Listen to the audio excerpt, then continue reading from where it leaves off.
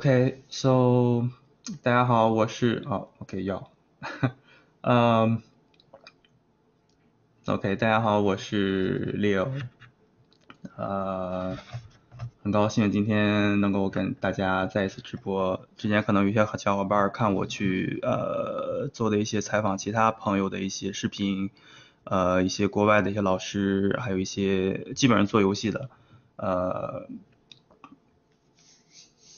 就是有不同的一些职位，然后我跟他们去聊了很多，比如说在游戏里面不同行业的一些，不同行业的一些呃一些算是工作经历，然后他们的一些呃，就是可能跟一些国内外一些项目不同呀，所以说做起来东西会很有意思一些，我会做过一些那些视频。呃，今天主要跟大家去呃谈的，也不能说是公开课吧，可能就跟大家去聊的一件事儿，就是一些呃有关，就大家看我那个呃下面这排图标，就是这些我用的一些软件。呃，今天主要的一些一个主题，就是想跟大家去分析一下呃画画，就应该大家看这个直播的。可能是画画的人比较多一些，但是呢，在真正的工作里面，可能单纯画画，呃，有时候是无法完成一些，呃，工作吧，算是特定的一些工作类型，需要一些其他的软件做辅助。所以说今天，呃，就想跟大家去聊一下关于二 D 跟三 D。之间的一个算是关系，或者说一个相辅相成的一个东西。OBS 对，刚才我试了 OBS，也好像比那个直播机要好一点，但是还还不给力。回头我查一下具体是怎么怎么弄吧。跑马灯哎嗯。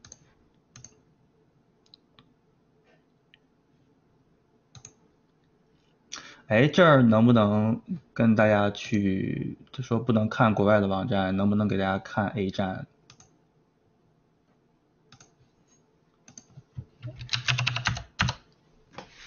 嗯，啊，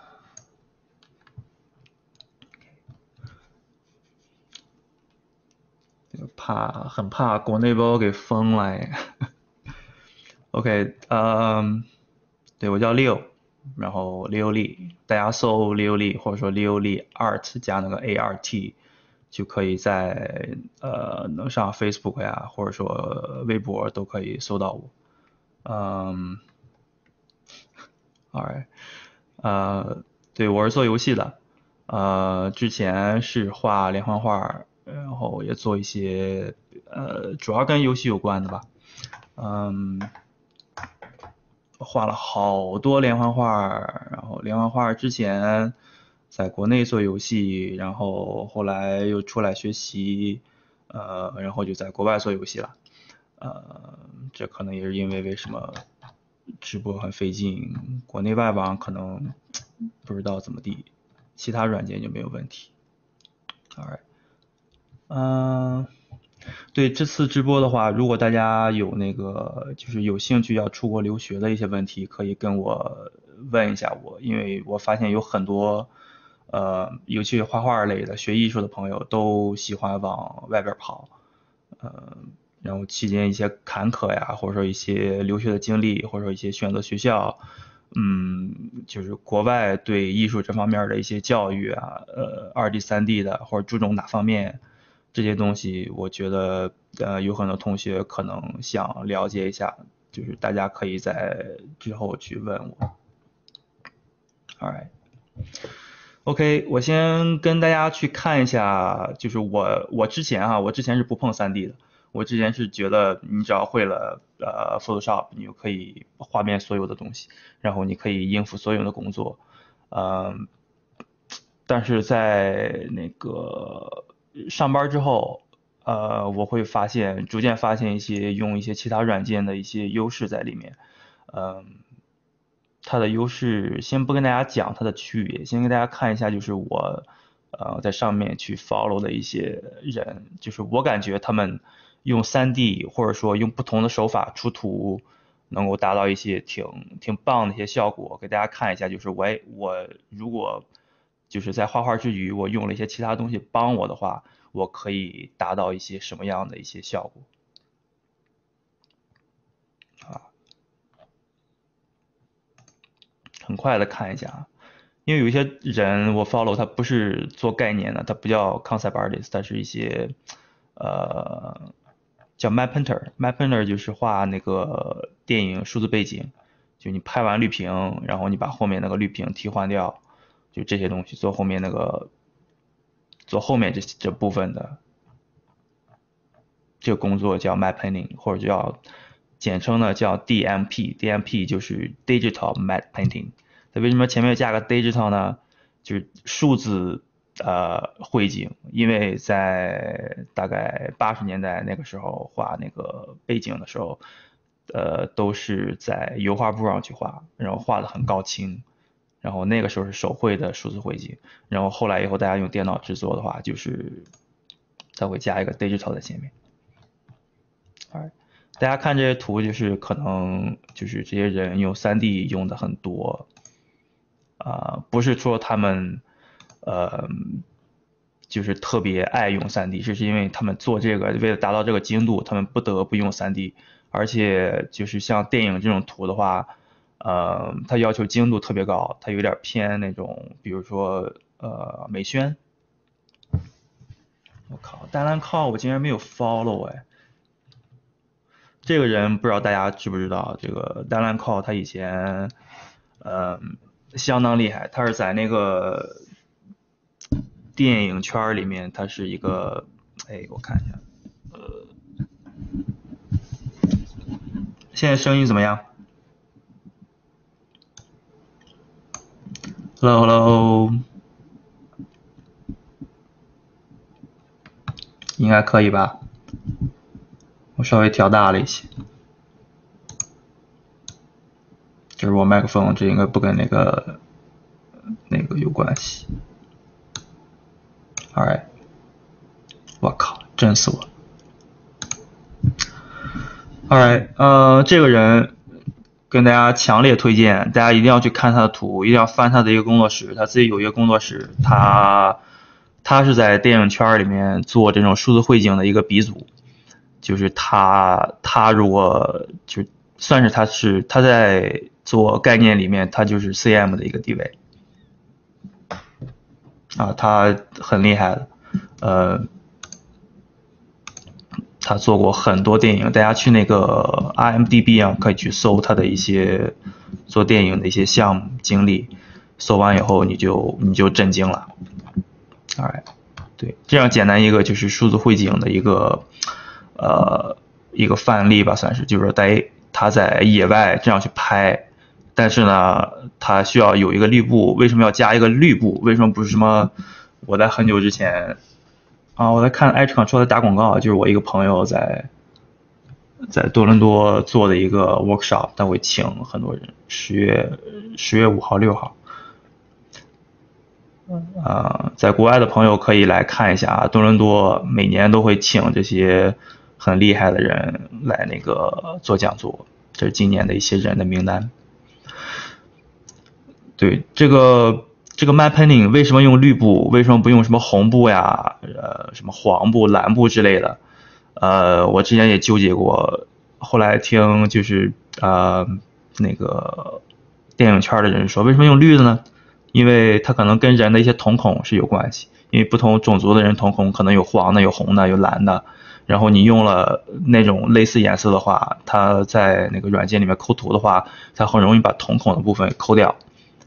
所以说，他就避免了用类似的颜色，所以说选择了一个跟那些不太一样，所以用绿布，啊，就很绿一些。呃，对，一般都会这样去拍。然后，呃，My Painting 的话，就是有时候会替换远景图，有时候会替换近景图。然后，远景图跟近景图之间，它有一个透视的差别。呃，远景的话，可能在透视上会比较小一些。呃，可能就是你贴个图，或者说你你摄像机就是直推的话，可能就是放大放小，可能对透视差别不是太大。对远景的话，但是对近景的话，它对透视的话就会影响很大一些，所以会导致，如果说你用远景图替换的话，可能你一张图就 OK 了，一张平面就 OK。但是你如果一些东西放到近景的话，你用一张平面的话就就不是那么 OK 嘛，因为你推摄像机或者一旋转的话，尤其是在旋转的时候，可能远景的话都要涉及到用一些 3D 模型去把这个景给搭出来。如果你用一张平面的话，你想想，你摄像机从左边你转到右边的话，对吧？你后面看的还是平的，就显得会很假，就会影响到一些透视的一些关系。这就为什么呃，如果你那个镜头定好了以后，我应该怎么拍，他们就会那个根据镜头的一些运动，会考虑远景，我是不是要用一张图就 OK？因为图便宜嘛，对吧？你如果加一些那个呃，就是 3D 上面的话，会很贵一些。对吧？那个电影做电影的话，会可控制那个，呃，它资金，就是你一开机，那钱就分分钟就流水了。所以说，它会特别特别的控制一些这些 budget 一些东西。呃，近景的话，它当然会用一些那个，呃，3D 模型，因为模型的话，它就完全不用考虑透视的一些东西了。所以说，这个呃，我感觉是用 3D 是特别特别流行的。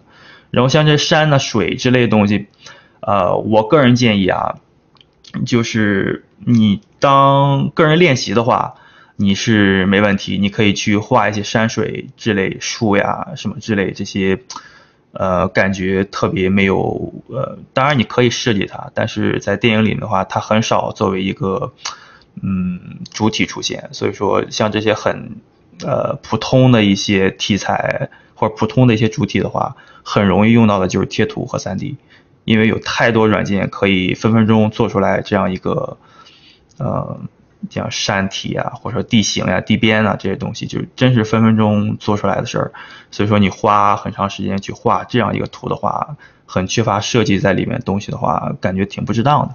因为分分钟都是钱嘛，对吧？你花一些时间去画一些你贴图或者说 3D，呃，就可以完成的东西，我感觉挺。在工业层面上的话，大家都很避免做这些东西，所以说大家都用贴图或者 3D 去做一些这样的图，这是一点用就是呃 3D 很常见的一些一些就是 case，alright 就是一些呃案例，或者说像这样的一些图也会常用一些 3D，因为呃像机械类的，然后大透视之类的，呃。在 PS 里面，它有那个，哎，这个字儿为什么是反过来的？哎，可能从那边看是对。对，我会推荐一些 3D 软件，就一些在呃工作当中用的一些常用的一些 3D 流。我希望能有时间跟大家去一一去演示一下，呃，我在工作里面是如何用一些 3D 去辅助。我不是说就是我会了 3D。我感觉自己就画任何图都要用一下 3D，不是这样的。有很多东西就是感觉还不如贴图来得快。呃，这样的话，3D 的话就会，比如说会延长我的一个工作期限，或延长我完成一个图的一个一个效率的话，会影响我效率的话，我就果断不用它。但是，呃，对这个图是他刚出的，他画那个阿丽塔。那个小姐姐的时候，机械小姐姐她给这个图，给这个项目画了一个这个算是概念图吧。Alita Battle Angel Crash，What the fucking shape over there？对这种图的话，做那个呃三 D 的话特简单，你摆个模型，然后上面贴点图，加点材质，呃，效果、空间感之类的很容易出来。你会看到一些就是做 DMP 的一些人，他们的话，DMP 的一些人，就他们做概念图的时候，他们也会做概念图，因为呃，据我了解啊，就是在国外这边，他们一些后期公司，他们不会去雇一些概念设计师，就所谓的电影那个。所谓的概念的电影概念设计师，在国外这边，他们大多是 freelance，就是自由职业者，就是他们很少去跟公司，比如说像我们做游戏的，我是某某某公司的，然后他是某某公司，对吧？像电影分镜、电影概念设计师，基本都是自由职业，就是说我下了这个项目去下一个项目，就他们很少去跟着一个组去走，在国外这边可能没有组，呃。在美国那边可能会多一些，欧洲那边多一些，加拿大这边没有。加拿大这边大多就是一些后期公司，就是他们后期特别特别的厉害。就大家市面上看的现在那些，呃，那个 Netflix，呃，上面的一些电视剧啊，就基本百分之七八十的电视剧都是从加拿大这边的后期公司走的。呃，然后欧洲那边也有很多，像这种电影后期的话。他们不会去雇一些这种 concept artist 去帮他们做设计，他们会，比如说我三个月期间，我会，他们会雇一些那种就是 DMP，就我说那个 map painter，会，他们叫 in house，in house 就是在屋里嘛，就是在公司里面工作的一些人，就他们会雇很多这种 map painting 的人去帮他们去做一些那个镜头需要的东西，因为它属于后期的一个范畴，对吧？我前期拍完了以后。我后期成片儿的时候，我需要把这个镜头去完善、去替换图、去加模型等等等，然后他们会雇很多这种 map painting 的人去去做。这个人大家一定要去看，他在上面剖的很少，但是就是业内的人都知道他很屌、很屌的一个人，很厉害。哎，我看一下他 follow 些什么人，他 follow 四十个人。Alright，。马丁，马丁大佬，马丁大佬是以前我们呃工作室里面的一个一个大佬，他现他去年去了三四三，这人很屌，很厉害，呃，是刺客信条的一个场景，看是一个支柱吧，就不同人手法，他出图的手法也很不一样，他就是纯画画。呃，他对构图特有研究，希望大家去研究他的一些构图。他设计来说的话，我感觉，嗯，不是这么很顶尖，但是他的构图来说，我觉得是挺挺厉害。对他去年就去了那个三四三，去跟随那个谁，那个那个叫什么来着？那个三四三那个。我靠！我竟然把他名字给忘了，就那个经常画树构图那个那个大神。嗯，对，马丁，马丁还是挺挺元老级别的一个人，大家去慢慢看他的图吧。他有一个图好像讲那个，他有一个图分析了一下他的构图的一个原理，我觉得那个说的特有道理。但我不知道他在这儿剖没剖那个图。哦，对，Sparse，sorry，对，Sparse 三四三，然后他去三四三去去追随 Spars 去了。我靠，竟然把 Spars 给忘了。是。啊，我找不着他图了。OK。所以大家去研究，一定要去研究他的一个构图啊，他构图挺挺厉害的。对，Sparse 构图也是超屌的，就是他对画面结构啊，对那种呃很整，画的图很整，然后他不太用一些那种呃材质笔刷，他用材质的时候就是用材质去控制一些呃一些形，并不是说去 random 加一些材质在上面，所以他的图就整体一看特干净，然后呃简那种繁跟简之间对比的话。挺棒的，对，给大家看一下那个刚才说说到哪儿？说那个啊，后期公司他们招那个 DMP，然后那个 DMP 呢，他有时候会碰到一些呃，就所有的电影概念图并不是都在前期完成的，就他们有一些会放在后期，就是稍微给一些就是呃宽泛的话，他会给一些后期公司一些自由度，让他们去掌握，比如说我后面替换那个图的话，我那个图设计成什么样子。然后这个图就是由 DMP 去出，啊，就做那个 map painting 人去出，然后他们出图的手法多是用一些这种呃贴图呀或者 3D 之类的，因为他们用这些用的比较熟嘛，对吧？然后他们也会去，就后期公司的人也会去 hire 一些那个呃，就是 freelance 我说的那种所谓的呃做电影概念的人，他们都是自由职业嘛，去会比如说你会看到他们很多后期公司就招人的时候都是三个月，你干完三个月就要走人，然后你干半年就要走人，这样的话他没有一个一个就像 permanent 就是 full time 的一个 job，都是那种 part time。或者说一些 contract 就是很很短期很短期的，然后你做完这个项目你就走，他们并不是每个项目都需要，所以说它那个电影跟游戏它区别就区别在这儿。然后一些人他用 3D，他出的一些图质量，或者说他出的一些图里面包含的一些呃，就你会看到他家他做什么东西他会用一些 3D，他并不是所有的图都用 3D，然后他用一些 3D 去出这些图的时候，他会感到很。很轻松，对吧？你看到这些，你当然贴图的话，你当然可以去贴这些这种这种人。对我来说的话，他完全可以去贴图去去做。我看一张图的话，我会去分析他。比如说，你看他就他穿着的衣服有没有特别的设计感，有没有特别就是我在现实中很难发现的一些元素，我可以用贴图的手法去帮我完成这个的一个题材，没有，对吧？他就是西服西装，拿一个。八九十年代的一个一个猎枪，我分分钟可以去找到素材。然后呢，如果说我用 3D 的话，当然也可以作为一个呃自我一个锻炼嘛，算是。这就像大家去做那个画山画水一样，这就对我来说，嗯，贴图或者说用地边软件会帮我很快的去完成。如果我想自我锻炼，我想练习的话，对吧？我可以去手绘去完成那些东西。但像这些东西的话，我如果加入一些。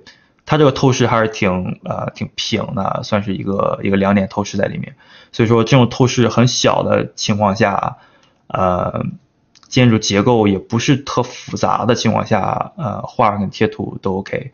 但是像这个东西，它放在里面的话，我估计它百分之七八十都是就是用一个 3D 辅助的一个东西去帮它完成。就是我有一个透视空间里面，我放一个机械。的物体在里面的话，对这种图的话，它会用一些 3D，像大家去看后面这些东西的话，层次特别的微妙，有点像那个辉煌那种感觉啊。就它这些图其实来说，其实它第一张图给我感觉，就这大家细看它后面这个人物后面这些小层次，其实很不是说很清晰、很微妙控制的。然后他这些对我来说就已经有点辉煌的意思了，就那个那个那个那个俄罗斯人，他他那个他那个名字很难念，我不知道怎么念，但一说辉煌，大家应该都理解。其实他这个后面的控制这种关系，这种对比度，对吧？在那种很很弱对比的情况下来几个光点。去给一个强对比的一个提一下亮点，其实这方面跟辉王没有区别，在我看来，呃，它可能区别就区别在它是用 3D 去用贴图去表现的，然后辉王呢去用笔触去表现，它就是呈现手法不一样，但是在表现出来的这个画面感上来说，它是一样的。嗯，对，我们先看一下图啊，我们随后来讲软件。给大家看一下，就是说我用 3D 能达到一个什么样的效果，然后我用 3D 帮我的话，我我适合做哪些图？你看它那个地，它那个地面就很很很简单嘛，就是几个几张那个小图案拼一拼，材质拉一拉，呃，放个车在上面，对吧？台阶儿之类这些东西，就用 3D 特简单，像这些图。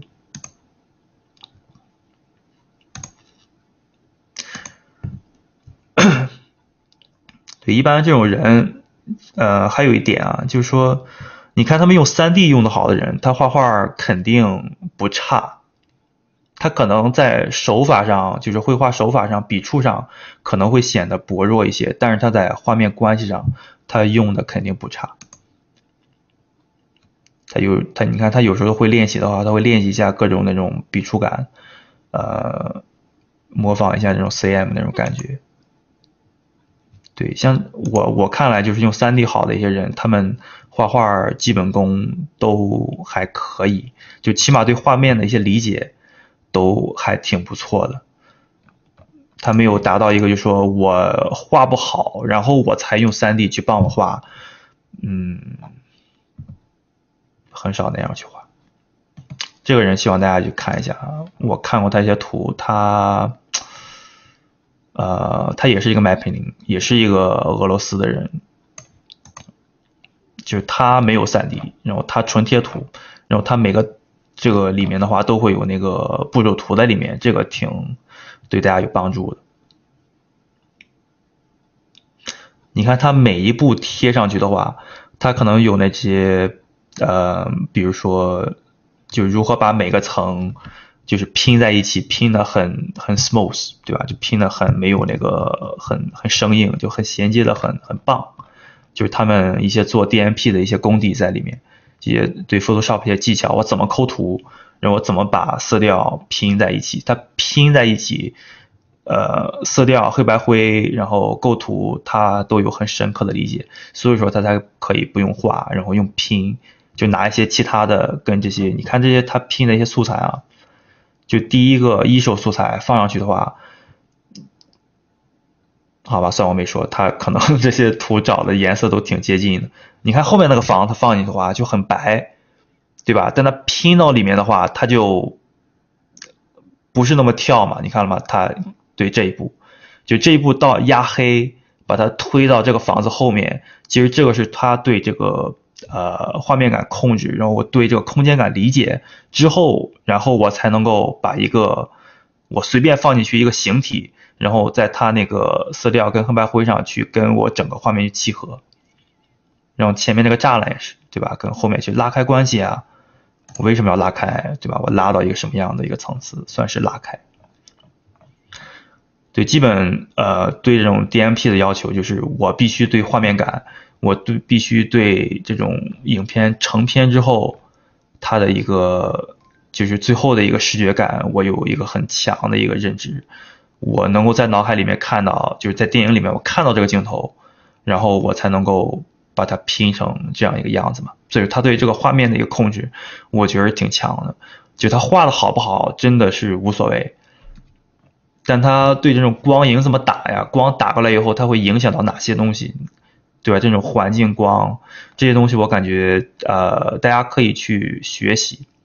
然后呢，用 3D 的话，就是软件可以帮你做到这些东西，你不必要去自己去。我靠，光从四十五度角打下来，然后打到这个墙，能不能反射到那个墙？然后这个墙对那个墙有没有反光？这等等等等这些东西，呃，咱们有咱们有电脑了，咱们不是在油画布上去画画了，好吧？咱们有有这些就是科技手段可以帮助我们去完成。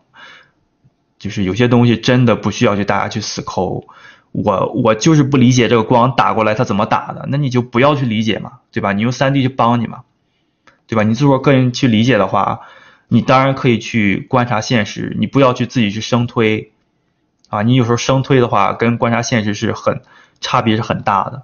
就像他这个我感觉画的，呃，一般，为什么一般？就是因为我是一个白天。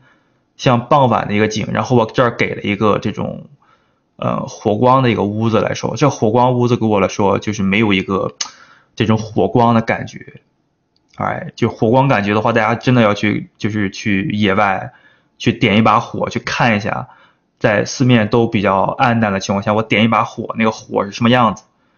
对吧？它不是像大家画的话，就是我旁边很白，然后这儿有这种半白不白的样子。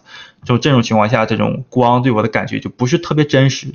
但我画画的时候，我必须要这么画，为什么？因为这火离我有一段距离，然后它这儿给一些雾的感觉，那意思就是说它有空气透视在里面，所以说这个火光在远处的话，可能就这个样子。Alright，对这个的话就是很有那种火光氛围的感觉。大家一定要去观察现实，做一些摄影。对吧？有很多画画的人，他都特别喜欢去摄影。为什么？就因为他们，就是一个是他们喜欢摄影这个东西，然后他们摄影的人，就是他们特别会关注构图，就因为他们无法去帮助那个，呃，去改变现实中嘛，他只能借用现实中的一些元素去帮他们去完成一个很棒的构图。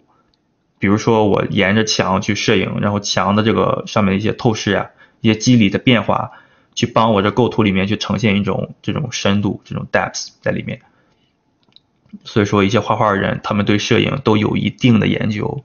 然后你对摄影不研究的话，你一定要去，就是你在外面走也好，你去就是逛街也好，你去不同的时段出来的话，对吧？国内特别适合观察这种雾霾的这种这种气氛嘛，对吧？就你随便看都是这种这种 Blender 雾霾效果，所以说。呃，一定要去观察，因为你你观察到真实的光，你抬头一看，对吧？那个阳光很刺眼那种感觉，你才能够感受到我如果画一个这种顶光，这种照到前景这种顶光是什么样的一个感觉。你一定要去理解那个感觉之后，你才能表现出来嘛。有些人画的图就是感觉很平，就是光很平的话，黑的地方压不下去，我想呈现火光。不可能的事儿嘛，对吧？你有你有黑才有白，你没有黑，你光你你纯提亮的话，那就曝光过度了嘛，对吧？这是那个摄影里面，他那个就对曝光很有讲究的。大家去看一下这个人，这个人我觉得挺有意思，他会把每个图那个步骤图都分享出来，我靠，这个很难得。像这个跟之前这些图的话，就是完全一个反差，全完全就是。从走的暗色调，然后走那种白色调，其实它的那个构图原理，它对画面理解是一样的。就这个图跟之前那个图是一样的，就它对那个呃黑白灰上控制，然后画面结构一个二八对比、三八对比之类的，这种画面形体和面积的控制，然后黑白灰呃对比都是那种偏弱对比，所以说这个图跟之前的图是一样的。就大家一定要去理解这些东西啊，哎，这个是个挺好的一个三 D 辅助的一个，对这个人他之前那个作品就是，呃，用三 D 用的比较多，然后之后他就纯贴图用的比较多，我也不知道他贴的那图是照片他怎么就找到那个透视这么这么契合的一些图拼在一起，我估计他可能是，呃，三 D 炫了点图然后拼在一块儿。大家看这个三 D，它为什么用三 D 做这张图？一个是简单在，呃，很快的帮你去解决一个这种三点透视，对吧？我随便摆一个角度，对，它之前图是用了很多三 D 去帮着出这些图，好，大家自己去看吧。那，Alright。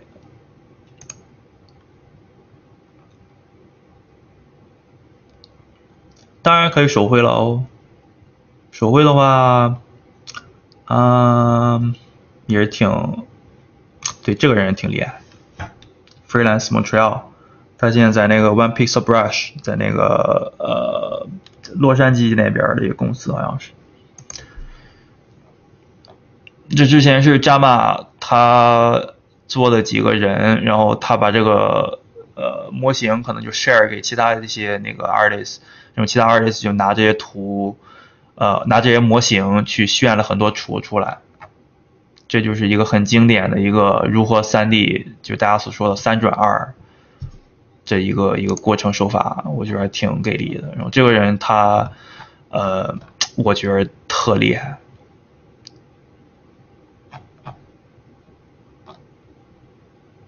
就随便拼一拼，画一画，我靠，就。这样，很很厉害的一个人，就这些东西基本上都是三 D 的。然后三 D 的话，现在很多画漫画的人都开始用三 D 了，就他们有一些这种呃那个材质，只要是把那个材质去拖到上面的话，拖到模型上的话，它就会自动呈现出这种漫画感，就是这种呃，它叫 Tone Shader。为什么叫 Tone Shader？就是说。那个，他把渲染过度的成分给平掉了，所以说看上去很漫画感，漫画感，这叫 tone 嘛？就 tone 就是一种漫画这种意思。对，大家就看一下他手法哈，就是他为什么就什么情况下他用什么手法去完成的这种图。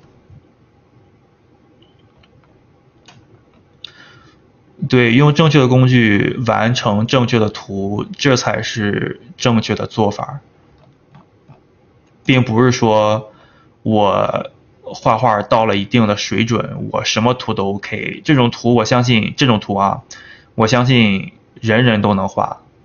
如果给你足够的素材，给你足够的贴图，人人都能画。然后现在不是说。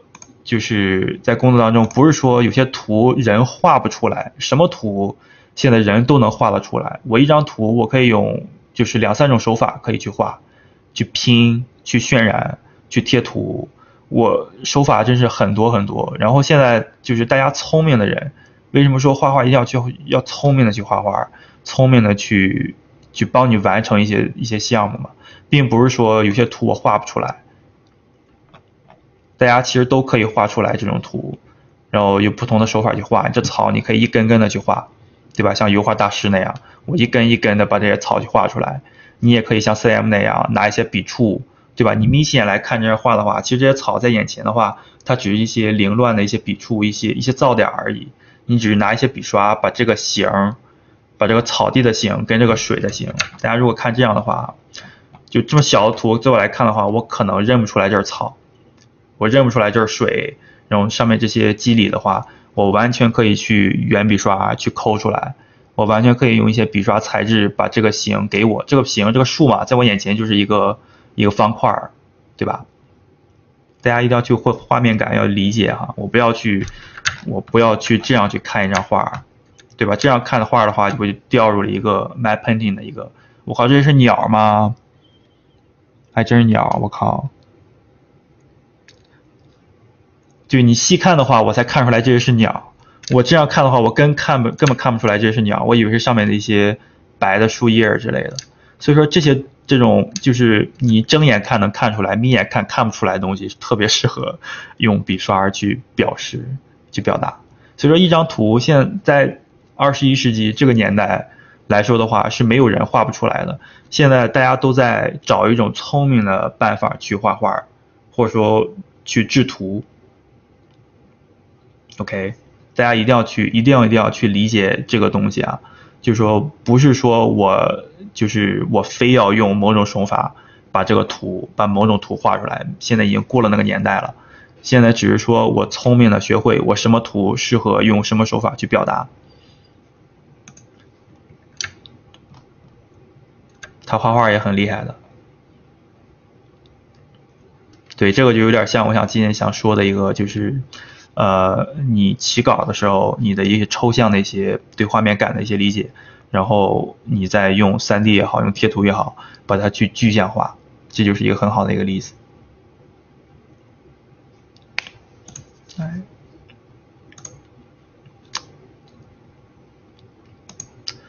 大家去回头去搜他一些图去看一下。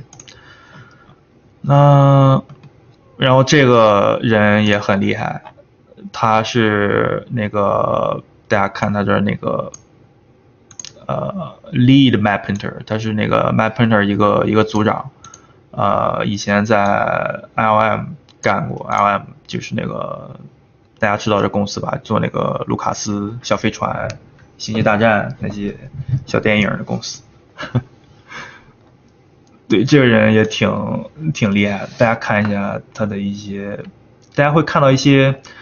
呃，看他那个 title 的话，他会叫 map painter，然后 concept artist，然后 generalist，然后后面那个 generalist 就是说那个 3D generalist，就是呃 generalist 怎么理解？就是他们在公司里面都有一个 3D 的职位，就他不管建模，他只是管，他可能也管建模，就他只是去做一些。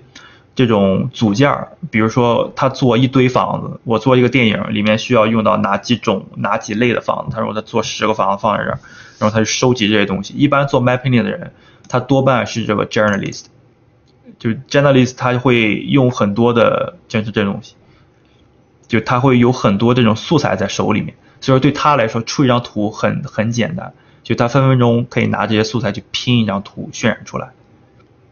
所以说，他们只要素材够的话，就像大家在网上去搜一些图，我去保存一些图在手里的话，我对以后出图效率有很大的一个帮助。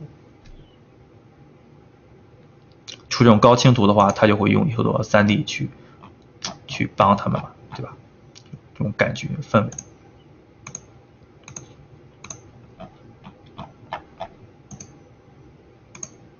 我觉得这些图都很棒的，有些电影里面图的话，跟概念图可能呃稍微有一些差别，因为你看电影的话，像这种就很有这种呃会让人很很简单的记下这个场景，因为它很简单，明白？因为电影里面图的话，你如果给搞一个那种四五个视点，在三四秒之内的一个场景过去以后，你很难记住它，对吧？电影里面要的就是那种。我瞬间就可以记住它，所以说你会看到电影里面，尤其像《星球大战》那个电影，它里面那些设计的话，它都避免了一些那种边缘上很复杂的一些呃边缘的设计，都是一些走的一些很简约，然后细节很丰富的一些这种设计在里面。它并不是说一些很呃像游戏里面，我靠，我玩一些这种 C 罗啊，对吧？这些东西。OK，嗯，OK，我觉得怎么着也要看一下这个人，Eaton Zana，他是顽皮狗的一个一个挺顶尖的一个人物，因为画画的人应该都认识他。然后他也是 3D、2D 结合画图的一个算是杰出代表。然后他之前刚出了一个教程，就这个，就是怎么用那个。他用那个叫什么 c i r c l 就他用 c i r c l 然后去建了一个模型，呃，然后快速的出来笔刷。它叫它这个教程的题目叫 Advanced Sketching with 3D，all right，advanced，OK，就他用这个词儿，就 Sketching 嘛，Sketching 就是呃画草图，对吧？他说用高级。手法画草图，那就是说用 3D，我感觉他这个有点儿，呃，就是，呃，就在我们理解，可能说你用什么草图就用用用 3D 了，那就高级了，这并不是这样的，他只是说 3D 你对于这种，呃，画画人来说，他感觉上挺高级，因为没没几个人会，对吧？你需要花时间去学这些东西，感觉上挺挺难。并不是说挺高级，然后他用这个高级的词，我感觉就是有点想吸引小白这种感觉。我靠，你看我这个叫高级草图绘画过程，它不是那种就是低级草图绘画过程，对吧？但是在 3D 里面，它只是换了一种手法而已。希望大家能够去了解它为什么像伊藤扎纳这种很大神的人，他也会把这种东西放成一个我做草图，我为什么用 3D，对吧？它并不是一个纯站在一个卖教程的一个。一个角度上去去赚钱，他是真的可能在他的一些出图的过程中，他用到了这些，他感觉这个对他呃出图来说，尤其像那个那个呃就神海那些图里面的话，它涉及到很多很有呃设计感的一些古代建筑，然后拼一些自然元素，像这种东西，对。对它，大家看它这个的话，也是很明显的，就是从一些很抽象的一些形，一些很抽象的一些剪影，然后我用 3D 去按照这个抽象的剪影去制图。我我在这儿我不想说是绘画了，呃，因为绘画的话就是你纯就是用笔去渲染，然后用笔去勾勒什么什么东西，然后它有点脱离那个制图的一个范畴。呃，我这儿用制图的话，就是想表达我其实是完成一张图。我制图的过程中，我对绘画来说的话，我就是少分心了一些绘画的一些手法。因为我要绘画的话，我很多方面我要考虑我这个笔怎么用，对吧？大家像看这个，呃，他画这个顶部的这个这个地方的话，可能是个圆弧形，对吧？我用笔的话。我要注意，我要贴合它那个结构去走，对吧？很多画画人在一开始，老师都会教你，呃，当你画脸的时候，对吧？你要知道脸的结构是怎么样的，所以说你用笔的话，一定要去沿着它的结构线，沿着它的结构的一个起伏去用笔，这些东西其实挺占内存的。当你画画的时候，对吧？你占你脑容量的，你当然你可能会形成，你画多了以后，你自然而然的会形成一种这种呃熟练那种手法在里边，但是它仍然会占用你的一部分那个那个内存，然后你要会想，对吧？你要去编，去脑子里面去想，我画的是什么形状，然后我笔要怎么走，我要我要脑子里面要很快很快的，每秒要过几十次这种这两个步骤，所以说我才能够画出来。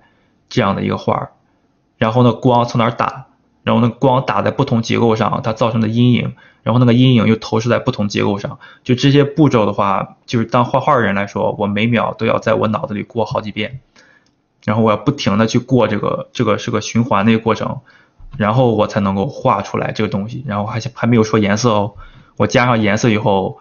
呃，环境光，然后颜色不同的固有色，然后环境色这些影响，这些都是很占内存的一些信息。然后我用 3D 去画的话，这些东西都是电脑帮我去完成的，然后我就不用去考虑，你就会节省内存嘛，这就是聪明的画法嘛，对吧？简单理解的话，就是聪明的画法。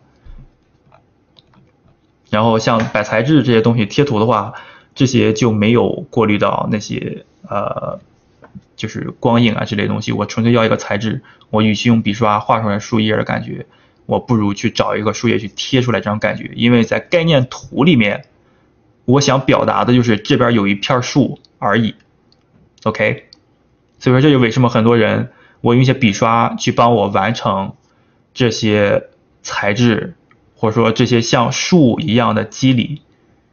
这是像我想表达的东西，并不是说我给那个团队的人看，你看我画树画的多么多么多么多么溜，对吧？我可以，你你半小时画一棵树，我分分钟就可以画一棵树，并不是想表达这些东西。在概念图里面来说，我想表达的意思就是说，这个地形是一个类似于呃呃这种悬崖式的类型，然后悬崖中间有一个就是在游戏里面主体建筑，主体建筑怎么样设计？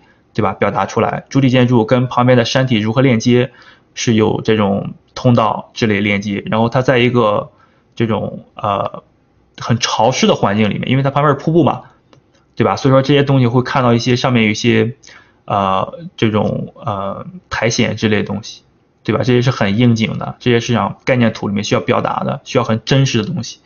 它真实并不是说我那个树画的很真实，真实是说。我任何放在里面的物件都要跟这个场景很贴切，贴切就是我有水的环境里面会感觉到很潮湿，这种潮湿的氛围我怎么去理解？一是加一些这种雾气在里面，二是说这种呃岩石之类的东西，我上面会有一些这种呃苔藓之类的，就是潮湿环境所造成的一种环境影响。这些东西我加进去以后，这种呃。就是真实感，就加引号的真实感才能表达出来。然后上面这个铜的，为什么是铜呢？因为它可能这个生锈嘛，这个黄的铜生了锈就变绿，然后这些是我想在这概念图里面表达的一些信息。然后我放几个人，对吧？人在这儿，人比多大？这是一个什么风格的？是北欧风格的，还是中国风格？对吧？这些东西是我需要在一个作为一个概念设计师，我画出来一张画面给我的团队里面的人看，然后这个图给我团队人看，哦，这是神海的图，然后那个给团队看，哦，那战神的图，对吧？我这些图通过什么表达？就通过我对画面的一些这种细节的一些控制，并不是说我对这个画面结构的一个控制，画面结构是通用的，画面细节具象的东西是不通用的。这些东西我完全可以替换成一个科幻的东西，那它就变成了一个三四三的一个东西，对吧？变成一个 Hello 东西。然后我做深海的东西，它可能就换成一个这种古代建筑。然后至于里面的一些材质，我是不是树？这个铜生了锈怎么样？这些光打过来，我 cutting shadow 在这儿，我为什么不不把下面去去去也打下来？可能想给表达这个山谷很深，然后那光无法打到底面。对吧？这可能在游戏里面，你可能走在这个场景里面的话，你很少碰见那个阳光、直射光，都是在一个很那个 low 的一个那个呃对比情况下，只有你爬到塔顶的时候，可能有那种强光出现。这些都是给一些游戏里面那种就是后期地编的人看的，他们会根据你这个地形，你概念图里面表达的一些东西，这个东西高度，它会你做出来游戏才会有这种这种呃，就是空间层次的一种对比吧。你画概念图一定要去，一个是你画面好看，这是其次的。大家如果搜一些呃游戏里面，就游戏组里面可能四五十岁的人，他们画的图其实质量有时候会很低。就概念图的话，质量很低，但为什么游戏公司会找他们去做设计？因为他对游戏怎么设计这个地形，或者说怎么去跟三 D 去沟通，就怎么去做一个游戏，他们很强。但他们的图可能出来质量会很啊 whatever 很一般，对吧？他们可能在 ArtStation 上，在网上的话，呃，名气很小，但是业内的人就就像那些 DMP 一样，大家搜的话，DMP。他们的 follower 都很 low 的，都两三千人，但是他们在业内的人做蜘蛛侠，他就把这个人叫去，他为什么不叫一些画的好的人，对吧？大家可以理解啊，在业内的人为什么会找一些业内人？因为就是他们真的是对他们做这种东西经验很有信心，就他们很懂团队里面需要什么样的图。哎，啊，这个图讲了好长时间，我靠。对大家呃，就是那个，比如说，再比如说这种，你像瀑布呀、水什么的，真的是无所谓。就是你要画也好，你要贴也好，呃，不同人可以不同理解。如果说我用三 D 用的很溜，我画我我提我做一个瀑布啊，我用水模拟一个瀑布，我五分钟完成，那我就用三 D 呗，对吧？或者说我正好有一个瀑布的一个素材在手里，我一分钟就贴上去了。那我为什么用 3D 做，对吧？或者说我画画，我懒得去翻素材，我画出来也 OK，那就画呗。所以说，真是在手法上不要纠结太多，嗯，在软件上手法上真的不要纠结太多，一定要去再跟大家去去说一点哈，就像这种呃如何去学习，嗯，建议大家一定要去。先把自我定位搞好。我现在一个什么阶段？我以后的目标是谁？是 Eaton，对吧？我以后目标要成 Eaton Zana，我要一定要做这种这类项目的图。然后就是因为你要做概念的话，它也有很多方向的，就不是说我要做概念设计师，我就我怎么办呢？我要练画画，我要整天画。你就 OK，那那不 OK 的，就你一定要去把自己的一个一个方向去把握好。我要去做场景，我要去做人设，对吧？我要去做那个呃载具设计，我要去做等等，然后做地边也好，做 ZBrush 也好之类的。就我一定要去弄明白我要做哪一类的一个东西。你不要说我全会，那不可能的。我可能全会，但是说我不专精。OK，我一定要找到一个很专精的一个方向去走，像这种气氛图，这种呃早期概念图，然后这种练笔的这种图，对吧？我我要我要画那种图，这种图会在用工作中用到吗？它不会用，因为太抽象了，只能作为练习，对吧？这种图也不会用，它也是给练习。这个是个教程，我记得在很很多很多年前。啊，五年前对他出来一个一个小教程，还有一个直播之类的，就他讲怎么用什么呃那个照片的材质啊，帮助出这些东西。这些不会在工作里面出现的，这些会出现，对吧？加 logo 了嘛，肯定会出现。大家一定要去看那个，一个是自我定位，我要定位好。我以后要做什么样的一个概念设计师？我画场景的，画人设的，whatever，大家自己去定位，根据不同喜好。然后我定位好了以后，比如说我画场景，我画什么类的场景，对吧？我画机械类的，我画古代类的，对吧？我画什么风格的？我画那种怪物猎人那种偏这种半写实不写实，然后偏有点日系那种。我画什么类型的？对吧？我找到市面上的游戏，我跟着那个游戏里面的人去走，这是正的路子。你不要说我现在要学画画，我我我看这个人画风，我靠，好喜欢，我要学他。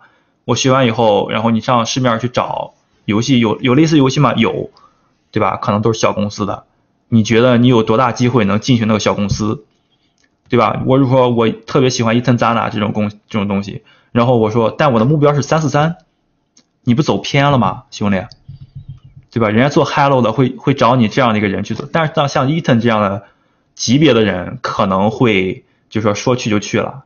但是像找工作的人来说，我做这种风格，我准备了这种 portfolio，对吧？我的一个作品集，我拿给三四三的人，我拿给那个 Sparse 去看，他不一定会要我，因为我的作品集走偏了。哎，大家一定要去理解这个哈，一定要定好了位，然后再去。那个呃，找到他特定公司里面的人，就像这个，我喜欢这个风格的，我找那个顽皮狗这个公司里面的概念设计师，我去看他的人，我比如说我看他这个图，对吧？我靠，我特别喜欢他这个图，我不管他是练习还是工作图也好，我要去研究你是在三四你是在 Naughty Dog 里面去干的概念设计师，对吧？你构图为什么这样构图？然后你找到他这样的构图，然后再找到游戏里面，你最好能够根据这个概念图，然后去看他游戏里面的真实还原，去推敲我在游戏里面，就是你以为你要去那个模拟他接活的一个一个思维过程嘛，对吧？他他接活，他比如说他要做，我找一个工作图啊，啊，对我找这样一个工作图，啊，这个我靠，这个有点偏气氛了。没那个，嗯，OK，我找一个工作图，然后正确的学习方法是我看到这工作图，然后我去玩他游戏。你，嗯，有同学可能说我很忙，没没时间玩游戏，那就去看直播玩游戏，去直播玩游戏，看他游戏里面的这个场景是还原度还原了概念图里面的百分之多少。然后他画这张图之前，然后他的接图接活的一个过程，就是你的一个组长或者说你总监过来找你，我需要画这样的一个图，我需要表达怎么怎么样的一个氛围。然后呢，我不会让你去随意发挥，因为我场景里面我你要跟着我走，对吧？然后他可能百分之七八十程度，他已经让地边去把这样的一个场景是方的，或者说大小多大。它的一个一个叫 3D Block，out，就它把那个 3D 在场景里面，就是引擎里面 Block，out，它已经给你 Block 出来了。就说我这个，比如说呃，这个地面到顶有十个人高，然后十个人高的一个场景，你就不能做成很低的一个五个人高的，对吧？因为它已经要求了是十个人高。然后哪些地方是可以去的区域，哪些地方是你玩家不能攀爬的一些区域，像这些，在这做的很好。为什么？因为它加了一些这种钢筋出来，感觉你这个人爬不上去，对吧？或者说你从窗户翻进来的时候，你从这儿是下不来的。你玩过游戏的朋友可能知道，我碰到这种边缘的话，我就我连试也不试了，因为我肯定下不来。然后这儿的话，我可能也下不来。我可能能上去的话，就像 Division 二里面或者一里面，他会铺一块布之类东西，或者像战神里面很弱智的，他会把一些符文画上去。感觉那种游戏就特别像游戏啊，就说哎，你看了吗？你箭头你要往这儿爬，然后他画个符文上去，然后像那个那个深海一样，他会发下画一个符文之类东西上去。像写实类游戏，他可能会画啊 Division 一样，他铺一块黄的布在上面，他会告诉你啊，这儿是能爬的。然后其他地方不能爬，他就放点栅栏的，放点那种尖刺之类东西，就感觉你不能爬。然后你需要接图的，你接任务的，就是说地边告诉你，你这儿你需要有一个台阶儿，然后人可能能从这儿能进来，但是从这儿下不来。然后他从哪地方能下来？然后他可能有个梯子之类的。然后这个地方多大？他会把这些东西都给你框架好以后，你再去画。然后整个图里面的氛围，然后我需要一个很很暗淡的，然后能光能打进来或者光打不进来，然后我要一个什么氛围的，这是你总监告诉你，然后大家一定要去这样去呃概念图游戏这样对比着去学习，就不要去看我靠这图好漂亮，我要去画这样的一个图，那你就是一个模拟器，OK，就是一个没有思维的一个模拟器而已，那你就那你那你。可能模拟的还没有 3D 真实，你就就简单说，你还没有电脑强，对吧？这样的话，那公司为什么不找一个电脑？为什么要找你？Alright，大家一定要去弄明白这个啊，就是说我我是一个思维，我要去研究它，我截图到完成图，我跟游戏是如何衔接的。我不要去纯粹去画画，那是插画师，那不是概念设计师。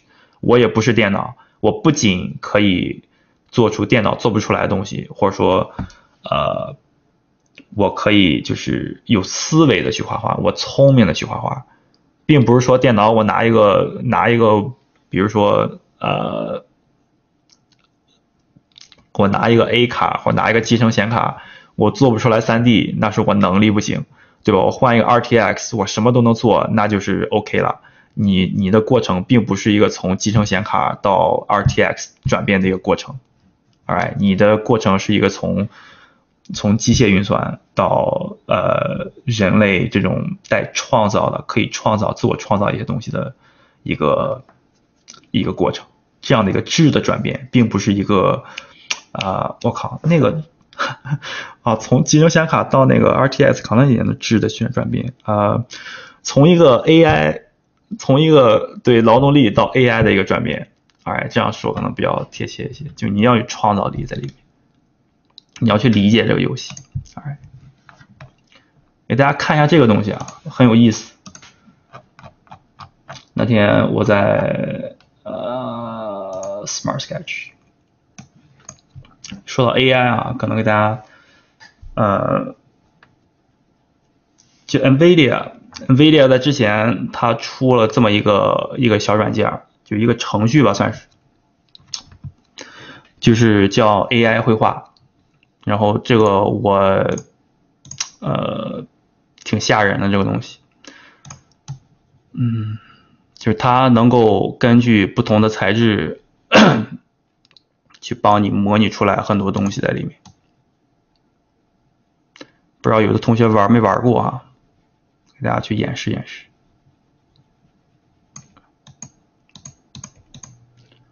然后你用这个的话，你就可以达到鼠绘，就可以用鼠标就可以画画了。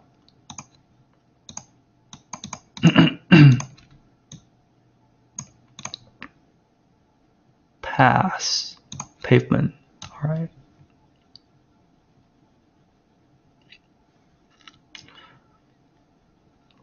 对这个用这个东西的话，其实挺，我觉得挺有意思。就是说，啊，你对画面结构一定要去充分的去理解。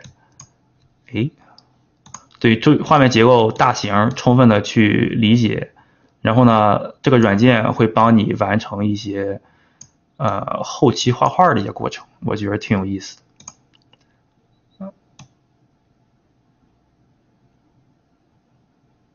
对，刚才说那个呃，如何学习呃，做游戏概念也好，做影视类概念也好，做游戏动呃动画 whatever 都可以的话，呃，一定要去就是呃概念图跟那个游戏里面去 对照去学，这样的话你进步会大一些。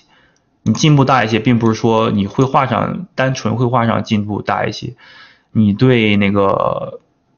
做游戏进步会大一些，这个是你要成为的那个那个职位嘛，并不是说我要画的好而已，画的好而已。有很多人你画的很好，但说你应聘的时候人家不要你，为啥？对吧？你要分析原因啊。真的，世界上并不是说很大公司，呃，你让一些画的很好的人去应聘做游戏。我我就喜欢那个三四三，我一定要进三四三，然后我自己司徒画的很好，我我进我很难进，对吧？你一定要去理解游戏，你玩没玩过三四三游戏，对吧？玩没玩过 Hello？你理不理解它游戏世界观是什么样子的，对吧？这些东西一定要去，一定要去从从根那去研究，见证奇迹的时刻。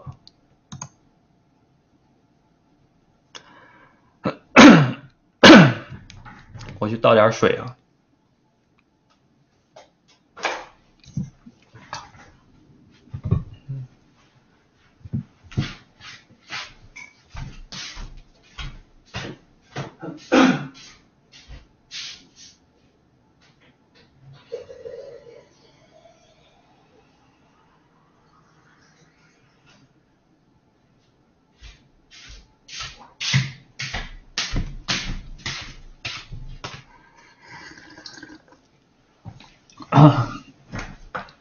我靠，OK，奇迹已经见证完了。当时我第一眼，当时我第一眼看这个啊这个软件的时候，我我我就真惊了，我真的是惊了，就是我感觉我我很快就要失业了。明大家明白这意思吧？就是我我感觉我就是早晚早晚，呃，概念设计师就要没了，就歇菜了，有可能啊，真的有可能。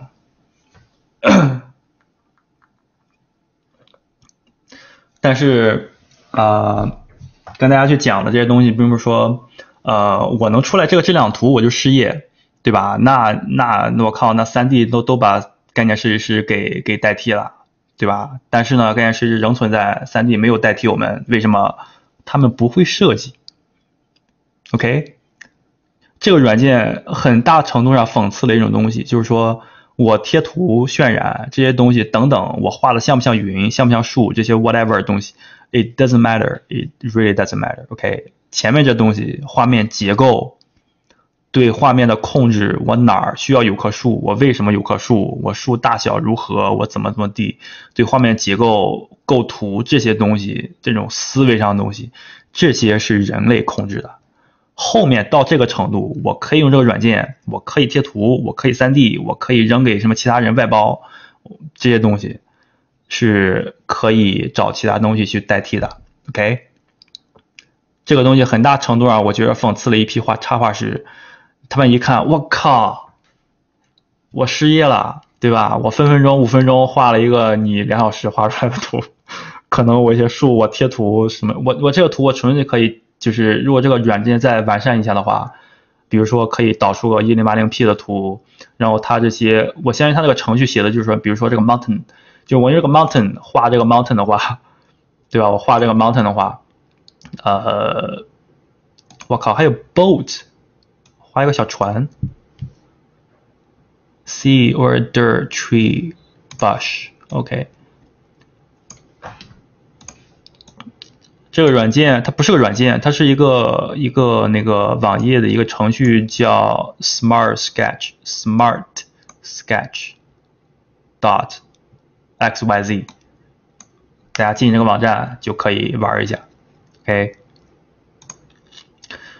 对它很大程度上讽刺了一些就是呃画画的人，就是我我真的是，嗯这些东西它只是一个雏形，这个雏形就像那个那个工壳一样，大家看电影啊，现在是雏形，雏形并不是说它未来不能实现，五十年后六十年后可能智能人工智能东西就要真的像工壳里边那样去出来了。AI 绘画这些小层面的东西，真的分分钟的事儿，它可以出来从二 D 直接转到三 D 这种过程，你不用熟练的去操作某个三 D 软件，你可以在分分钟完成的一个东西，这种技术早晚早晚会实现的。所以说，拘泥于画细致、抠细节的一些画手来说，我劝你们，呃。往这种我刚才说的那些地方去走一些，你研究画面结构也好，你研究如何做游戏，对吧？你学点儿这种软件很难代替的东西，OK？你千万不要去去考虑这些东西了，这些东西真的是，呃，我感觉是太容易被取缔了，Alright？这也是我不太想不不是太想依赖 3D 的过程，因为我觉得。比我做 3D 好的人太多了，我实在是无能为力。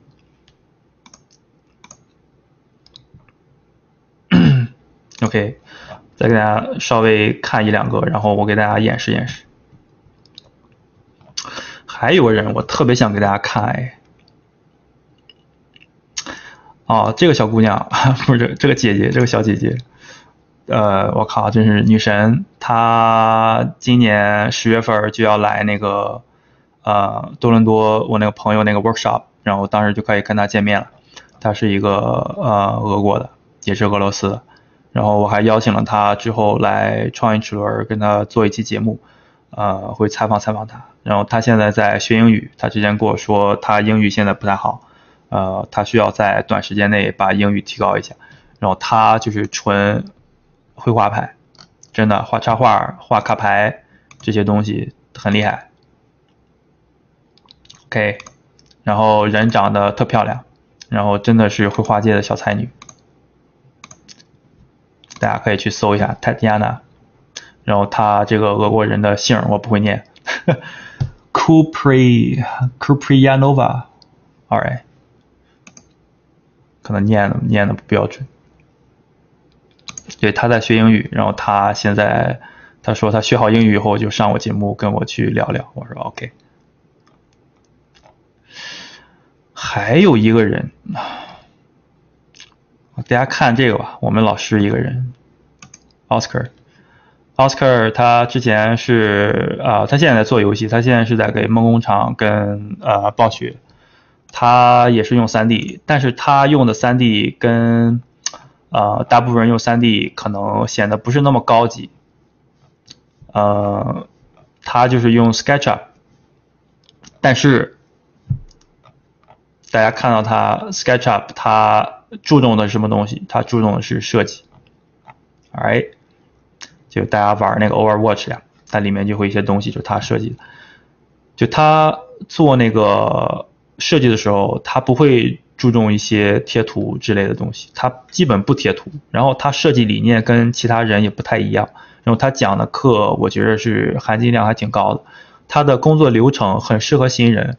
呃，他多用一些这种 SketchUp 的一些，给大家看这个图，他这火星这个这个 Mars 这个电影，他给这个国家地理做这个，就他这些东西百分之八十是拼模型。然后 SketchUp 这个软件好处就是它可以拼模型。国内我看很多朋友都是用 SketchUp 去拼的哈，就是用 SketchUp 去建模，那就是有点儿呃呃没什么意思了。它这个不属于工业设计啊，它这个属于也是概念图的。工业设计的话，你把工业设计看看那个了，看扁了。工业设计可没这么糙。我大家看一下工业设计啊，是我一个同事。他什么叫工业设计？这才叫工业设计，啊，这是那个我们公司那个 Starlink 给小孩玩那个游戏，然后我们这个每个飞船都是需要那个每个部件都拆开，然后可以拼装起来的一个玩具，这东西才叫工业设计的，啊，它是一个玩具，最后是个成品，然后你用什么材料？然后你怎么出模，怎么开模，你哪上螺丝，这些东西是工业设计。然后 Oscar 那些还不算工业设计吧，就这些东西，这些东西才工业设计的。你工业设计比那些概念图要复杂多了，它这些东西才是很很 grounded 这些东西，你怎么拼这个那个的？呃，我感觉这个不在我们研究的一个范畴。呃，但是它对呃 SketchUp，大家那个知道那个 SketchUp 有一个拼模型网站叫 SketchUp Warehouse。呃，应该都知道啊，这个 SketchUp Warehouse，呃，这个 Warehouse 这个网站上面有很多呃那个免费的一些东西，就是说你基本现实中想象到的或现实中想象不到的一些东西，你都可以在上面去下载。然后那个东西下载以后，你就可以就是你尽量在国外你不要去那个直接用人家的东西啊。因为有版权问题，呃，大家一定要注意版权问题，不要盗用其他人的东西，呃，但是你练习的话可以，你你标注上你这是练习，对吧？但是像些很，比如说这个气泵，对吧？这个东西我在其他东西上软件上找了一个气泵，然后我气泵的话，我拿过来用，你不能说这个气泵是用你的气泵，所以说这种很 generic 的一些东西的话，你可以去做拼接，呃，拼模型，因为都是一些很。呃，常规的机械零件你可以用来拼，这也是拼模型的一个很呃，就是很常用的一个点，并不是说我整个外形我我很很随意的拼，外形需要自己设计的。然后到了这些细节零件的话，我我手动建模吗？那建个气泵嘛之类的，花五分钟建个气泵，你不如说拿过来，对吧？所以说拼模型它是在你外形控制的前提下。你用一些很 generic 的一些东西去填充你的细节的过程，这是 Oscar 他的一些设计理念，呃，啊，他讲的比我好多了，所以说还是听他讲。但是给大家看一下这个拼模型，大家就是用 SketchUp 的话，不建议大家用 SketchUp 去研究如何建模，它建模的能力很差，呃，一些一些东西只能靠插件才能出来那个形状。然后有很多同学说 Blender 比 SketchUp 要好，All right，它好在哪？对吧？它能直接用 SketchUp 里面东西吗？可以，但是你 SketchUp 要买一个 Pro 的版，或者在国内的话破解一下。才能把 SketchUp 的文件导出 OBJ 或导出 FBX，要不然它只能 CLADA。CLADA 导入 Blender 的话，它会呃很多破的一些模型。然后 Blender 的话，呃，它没有一些这种像 SketchUp 这样拼模型的一个一个很简练的一个一个一个方式。OK，用 SketchUp 可以说精髓就在拼模型，精髓就在用 Warehouse 上那些东西，然后如何把一个坦克。拆成若干个零件，拼成你自己的一个一个一个机器人儿。打比方说，一个机械，那是你设计，就是从拆分到重组的一个过程。有很多国内的一些，就是你比如说画那些建筑建筑体设计之类的，大多可以靠拼模型去完成。然后后期拼模型完了，导出一个线稿，然后去在有拼模型的。那个基础上去改你的线稿、改外形，这是你的一个工作流，就是用 SketchUp 的一个工作流。然后你涉及到其他的一些 3D 软件的话，它就是在拼模型上可能会弱一些。当然，你如果有充足的模型，你买的够的话，对吧？你自己建模，你花半年，你你攒一个自己的模型库的话，你可以形成一个像 SketchUp 这样拼模型的一个工作流。但是永远没有 SketchUp 这样去坏，呃，这样去快。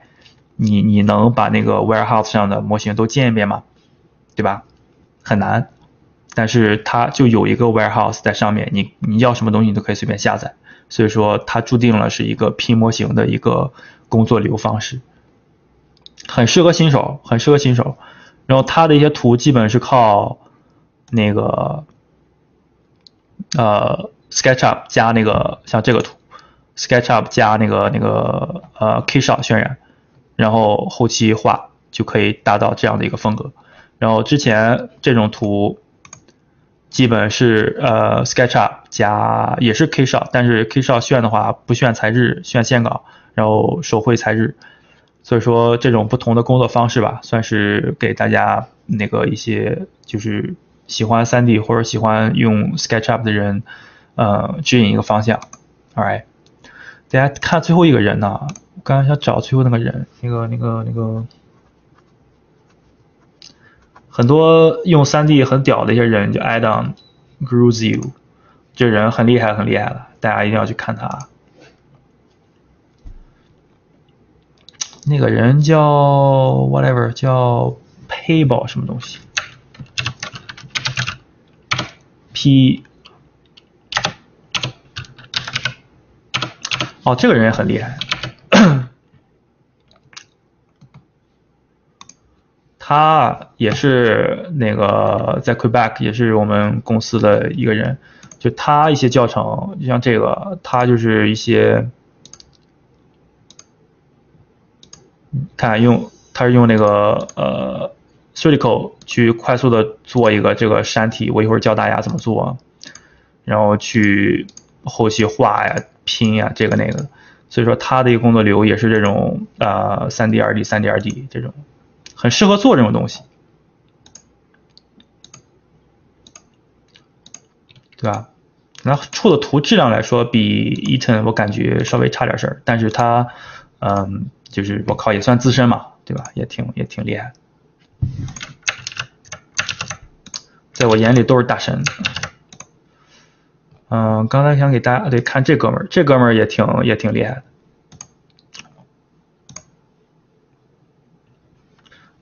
这些就是用了一些那个呃人物的一些软件，然后拼一拼蜘蛛侠，对吧？精度很高的纯贴图，对吧？3D 渲染之类的，Octane 这些东西。对这个人，我我觉得他就是干。敢在外边自己做 freelance，然后能接很多大项目的人，都是有两把刷子，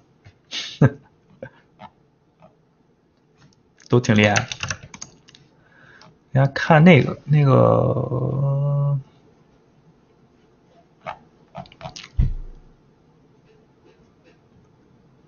这哥们儿，这哥们儿我挺喜欢，他是个西班牙的，跟那个 Natural 是同事啊，不是同事是朋友。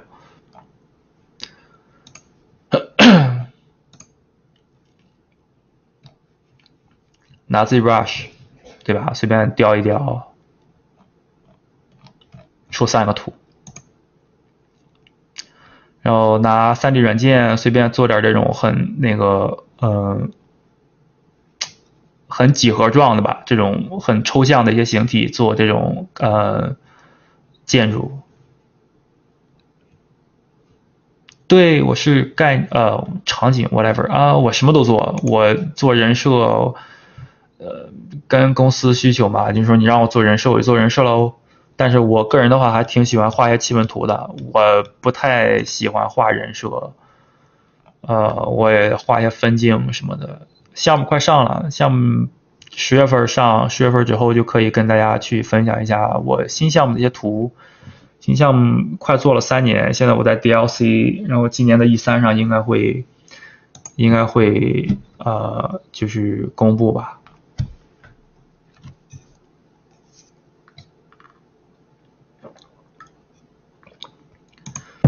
对这个图，那这个人我挺我挺喜欢的，就他用，你感觉他用的一些东西很灵活，他用 3D，呃，做的一些图都是我用 2D，我绘画感觉上挺费劲的图，或者说他用 3D 感觉上很简单就完成的图，所以说我觉得这个人很聪明，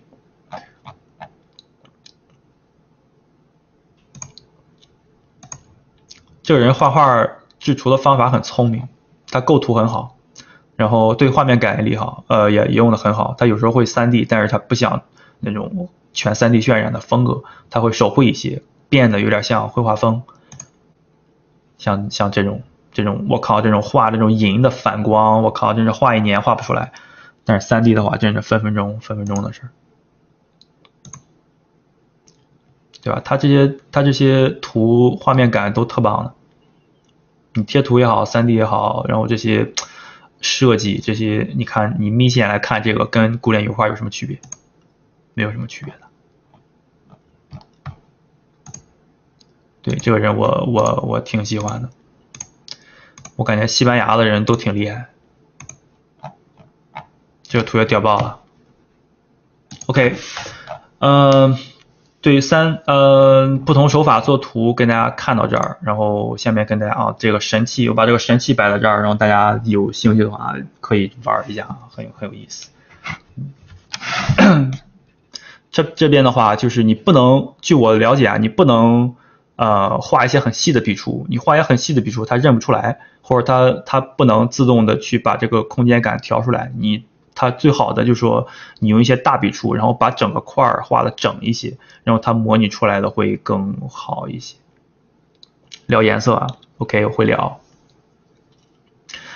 OK，下面跟大家去总结一下啊，因为我们看那么多图嘛，对吧？稍微总结一下，就是咱们讲的是什么东西？讲的是什么东西？第一个就是呃，就是二 D，哎，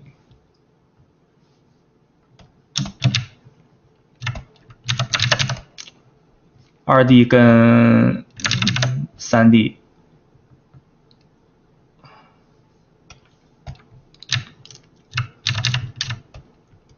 二 D 跟三 D 嘛，对吧？然后二 D 跟三 D 的话，一就是主要的几点，就是一定要去考虑，就是我什么样的图，就是你提那个图的一个呃画面结构，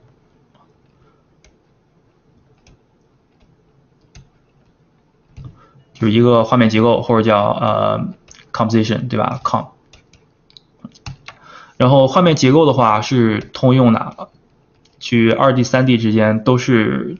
都是通用的，然后画面结构会明显变得越来越重要，然后它会明显跟那个呃三 D 结合的越来越紧密。这两个东西，这两个东西结合的越紧密的人，他对画面理解的越好。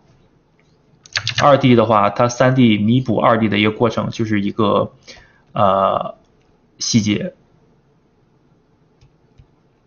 一个是细节，一个是它也可以走画面结构。就是说，有很多很多人用三 D 最初的一个初衷，就是三 D 可以帮我改变一个呃，可以改变一个透视。就是它帮帮我改变透视的情况下，就是我在呃透视，因为是帮那个影响我影响很多人，在你刚一入笔刚一画的时候，它的一个呃给我最大的一个难题挡在这儿。二 D 二 D 那个就是我画的时候，它叫两点透视，就是已经很难了。然后我再画一个仰视角或者说一个俯视角三点透视，那我真的是就疯了。然后你再画那个鱼眼透视，那我就不活了。对吧？你不能这样去理解。呃，三 D 的话，它最初最初帮人去帮的就是说一个透视。然后这个透视，我为什么在很多呃，比如说工作中里面我会用到一些三 D？因为你的 Art Director 他首先会说，你先给我出二十个草稿或者十个草稿，然后我去这种呃，比如说画画面结构呀之类的，然后这个那个的。我画完这以后，我比如说出了一个，他选了这个。那我说，哎，你这个，你这个能不能稍微俯视角一点？我说 OK 啊。然后那我的视平线是不是往上推，对吧？视平线大概这个地方，然后这是个圆的，然后有可能稍微看到一些顶面。然后这个人的话在近景，他可能三三点就可能有点三点了，对吧？然后这个人的话可能就呈现出这种一种稍微看到一点肩膀顶部之类的东西。然后这个人画圈。这人的话可能是这样的一个关系，然后可能觉得，哎，我靠，我想转一下角度之类的，然后我需要再画一个，对吧？我需要画无数这种东西给他，说不定在扫图的时候，他觉得你这个 OK 啊，然后你往画的时候，你画到百分之五六十、七八十的时候，他觉得我靠，如果说再能再转一点角度就好了，那时候你就真的是想死的心都有。然后你用三 D 画的话，你会在之前。把你建出来这一个图，然后你可以给他若干个这种选项，他去选。让他选完以后，他选定了以后，你即便是画到百分之四五十的时候，你转一下可以吗？可以。你稍微的回到之前，稍微一转，然后材质什么的一打，光一打，你顺便就是很很快就是拿回了百分之三四十的一个完成度回来。OK，尤其是在前面的话，你出二出草图，你以为这么好出吗？很难的。然后你不同扫除不不并并不是说我这一个是一个草图，我这再变一个角度又是个草图，对吧？你三 D 里面的话，你可以玩很多这种很随机性在里面，所以说它呃就是给 Art Director 给你总监看的时候，他们也会感觉你更那个比较 open 一些，你的你的那个想法会比较 creative 一些。对，三 D 在最初最初。帮我解决的就是透视问题。之后你研究透了以后，你会觉得，呃，透视完了以后给二 D，然后二 D 的话会那个就是 render，对吧？就会加细节，就所谓的细节。然后呢，你三 D 学到了一定程度以后，你会觉得，哦，原来我三 D 的话可以帮我加细节，也是很快的，对吧？三细节里面就比如说一些，呃，光的一些。材质、材质，呃，一些材质、一些光的一些材质这些东西，就这些东西就细节嘛，对吧？或者说结构、结构那些东西的话，三 D 也分。下面讲，如果说，呃，结构的话，什么样的结构我需要用三 D，什么样的结构我需要画画，什么样的东西我需要贴图，我希望大家去理解一下这个东西，就是说我会分。你比如说我画一些。呃，比较呃自然的一些场景的话，比较树呀，对吧？像山呐、水呀、什么星球呀，就这些东西的话，等等等等，这些自然界的一些东西，什么火山呐，这个那个，就这些东西的话，呃，我觉得贴图会比较好，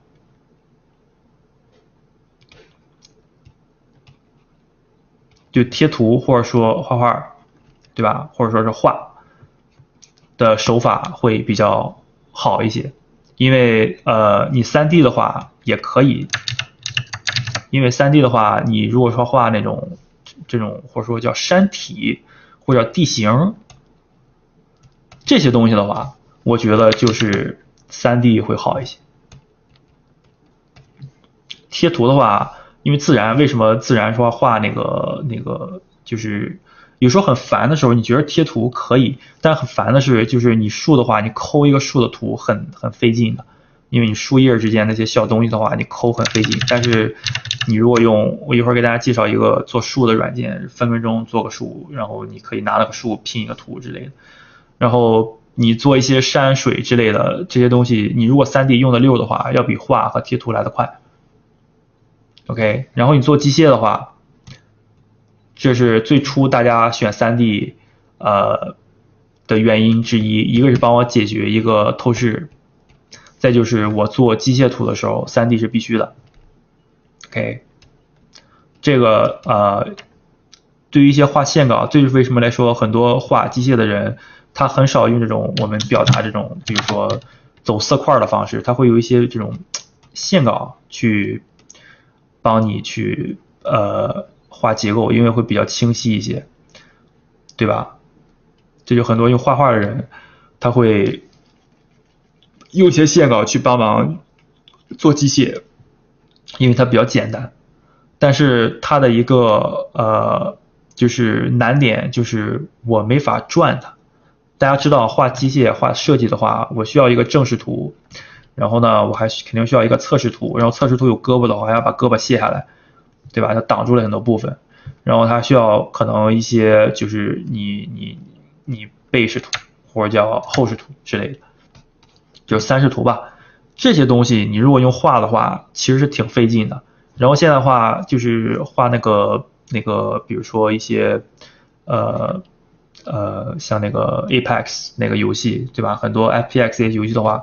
它你的枪都是都是这个样的，很大透视的，对吧？然后这是你的画面，然后你枪在这儿，然后你这个瞄准镜之类的都在这儿。所以说你你设计枪的时候，你最好是以这个角度去设计，然后你才能够很还原你在游戏里面。你如果枪拿到这个角度的话，你看着好不好看，对吧？你如果说枪你画的话，这样设计你肯定不选这样设计了，你肯定要这种。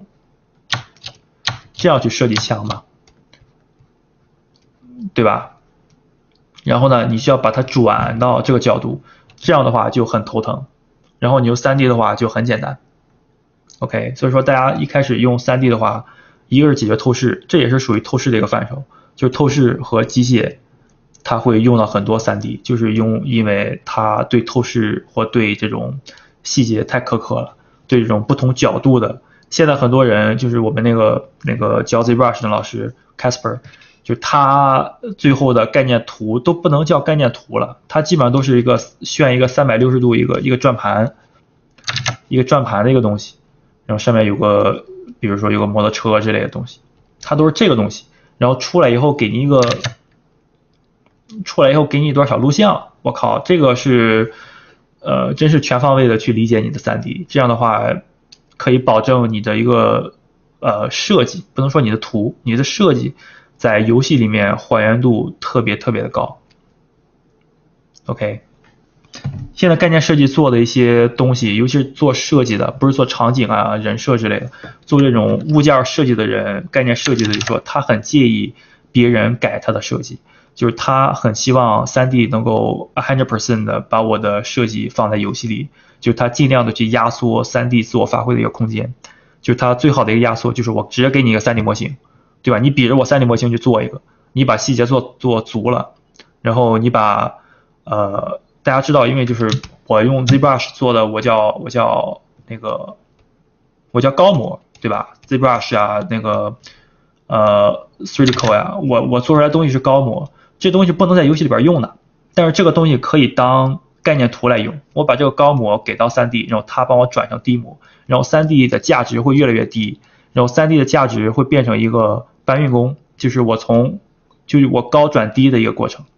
所以说我个人认为，呃，3D 需求量很大，因为这个高转低就是一定要有这个人去做，但是它就是参与设计的成分就是变得不高了。OK，在之前的话。呃，你能不能做一个好游戏，要看二 D 和三 D 之间的一个配合，我才能做出来一个我的一个产品，对吧？我的一个我的一个游戏。然后呢，为什么这么说？就因为我如果二 D 强，三 D 不强的话，二 D 可以帮助三 D，就是三 D 在建模的时候，我随时过去去去去找他谈，就说，哎，你知道要这样做啊，因为我这样就表达这个意思，他可能有些东西你看不懂，然后能保证你最初做出来的游戏。呃，东西是符合我作为概念设计师我设计的一个一个一个就是概念或者说一个一个形体。有时候二 D 比较弱一些，三 D 比较强的时候呢，这时候比较好办，因为你二 D 可能你比如说我随意笔刷笔触来了点儿，然后三 D 能够 get 到你的点，然后他把你的东西以他做三 D 这个经验做游戏这个经验把你的东西放在游戏里面，那你游戏质量有保障。对吧？但是呢，当你二 D 和三 D 都强的情况下，你二 D 是很介意三 D 改你东西的。我不知道你们有没有，我我们是挺介意的。就是说我我的设计或者我构图，我分镜，我比如说我这个人的构图的话，我就需要稍微挡住我的头的上半部一点儿。然后你比如说拍摄，你你给我露了个这个样的，你给我拍成这样的人，我就挺介意的。我我挡这一点是我有我原因的。然后你不帮我去挡这个，你给我拍成这样，我觉得这种东西吧，可能在画画里面，呃，有很多人会遇见，就是说你挺不尊重我们的一些意见。然后像设计的话，更会有这种问题。你比如说我这个东西大一点、小一点，我都是精确考量过的，对吧？我用我的审美去衡量这个东西，然后你给我改了。或者说你给我我的细节想表达这个样子，你给我画，你给我到最后做成了那种东西，对吧？我觉得是挺挺不好的。所以说，二 D 为了让三 D 去能够高度还原我的东西，然后让我的游戏里面真实还原我作为一个概念设计师的一个想法，然后呢，他们会逐渐的用三 D 去做成一个高模，因为你拿到我模型了嘛，对吧？你就没有理由去做一个。跟我模型不一样的东西，OK，这是一个三 D 呃游戏做游戏来说吧，它的流程的一个改变，就是之前那个靠三 D 和二 D 靠三 D 能力的一个时代已经过去了，就是你三 D 你只要能做出来这个低模在游戏里面能够用，然后呢你有足够的经验能把那个图的就是贴图质量压低，符合一个游戏里面的一个内存。就是尽量的去为游戏游戏引擎减少内存嘛，然后你的一个东西做出来很灵活，呃，然后你精度够，然后你贴图在游戏里面看出来就是光打在上面很正确，这些东西你都考虑到了以后，你就是合格三 D，你不需要有任何发挥空间，因为我帮你做了。OK，所以说三 D 如果想走三 D 的话，很好找工作，但是三 D 的话，呃，我个人认为它的发展空间。不是特别的大，但是三 D 之后的话，可以走那个呃角色三 D，然后跟那个走那个角色三 D，然后或者叫 Level Artist，这两个是三 D 的一个初衷，呃不不，它的一个归宿吧算是，就是你三 D 刚入门是一个做场景三 D 的。你场景 3D 就是说你做物件，然后做一些小物件的东西，那个是很初级的 3D。然后进来以后，你干几年，你会上升到一个，如果你 Z 边是用的好，你可以上升到一个角色 3D，然后你做一辈子都是角色 3D，OK，你都是可能做成一个角色组长或者角色总监之类的。然后呢，你做之后你不转角色 3D，然后你转成一个 Level Artist，你就变成了一个你不建模了，你去你去做地边，你去想一些游戏怎么玩，你怎么拼。这些东西挺有意思的，就是你更多的了解一些游戏的一些呃规划的一些东西，然后你做 level artist，你以后就有可能成为 art director，AD，然后这个的话，你只能成为一个比如说一个 senior 资深的一个角色，或者说一个角色组 team lead 组长到头了，OK，然后你你 level artist，你最后可以升成一个 AD，就是你的一个 art director。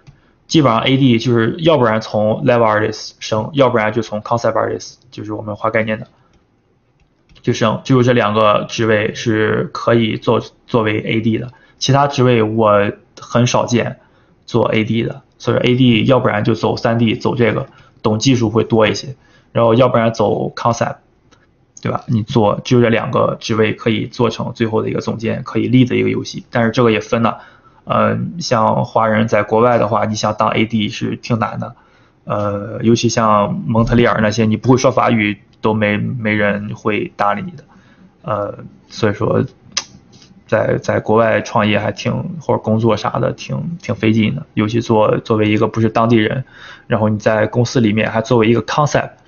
明白，大家明白 concept 的一个一个那个那个就是一个难处吧，在国外，就是你 concept 基准就是你要画一些去影响团队的一些东西的东西，有些东西你不是说完全你的 AD 告诉你要做什么，你要做什么，你要把自己想法去表达出来，所以对语言要求很高，你要去充分的去说服别人，OK，你要跟别人去呛起来，去掐起来，就是他跟你说的想法，你觉得我不认同你想法，我要去。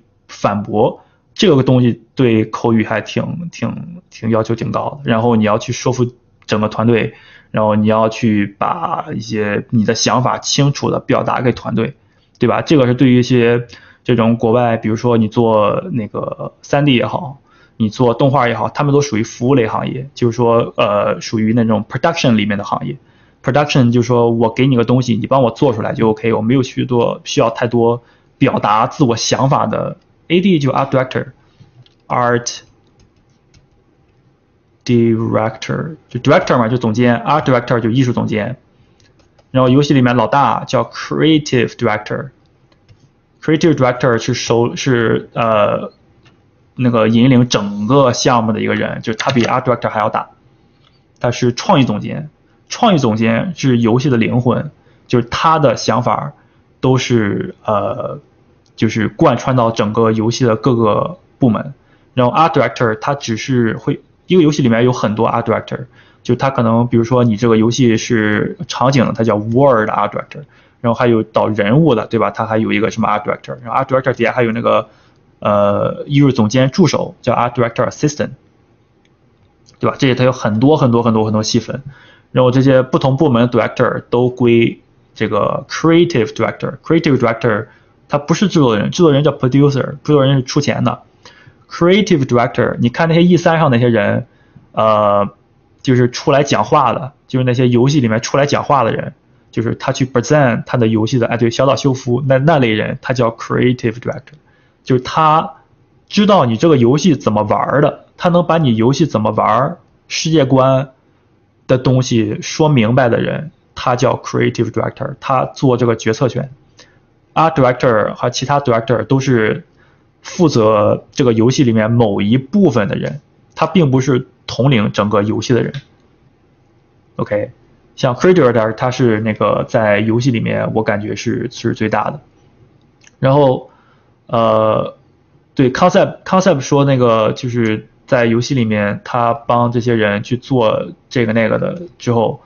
呃，它属于一个 pre-production 一个一个一个职位，就是他在你开始做游戏场景之前，需要把这个游戏场景的定位给你定好，这就是 concept artist 需要所做的东西。所以说他做的东西需要呃很清晰很清晰的 get 到你 AD 告诉你的想法，然后你用画面表达出来，然后你的整个团队看到你的图之后才不会跑偏。Alright。这样一个东西，但是真的作为，呃，呃，就是尤其是华人、亚洲人在在国外那个那个公司里面工作的话，挺难度挺高的，比一般人要高。你比如说，你跟当地人水平一样，但是他要选一个 team lead 的话，他可能会优先会选当地人。然后呢，华人在国外的话，他呃就是圈子的话很保守，他们喜欢。呃，就是扎堆儿，然后他们喜欢找那种华人自己人去玩儿，这样的话不太容易这种做创意的职位。然后你做三 D 的话，可以那种性格，但是你做 concept 的话，就是需要你跳出来嘛，需要你去再活跃一些，多跟一些老外打交道，然后跟他们去了解他们的文化，对吧？然后去站在他们的文化角度上去设计他们做其他国家的游戏。这是一个正路子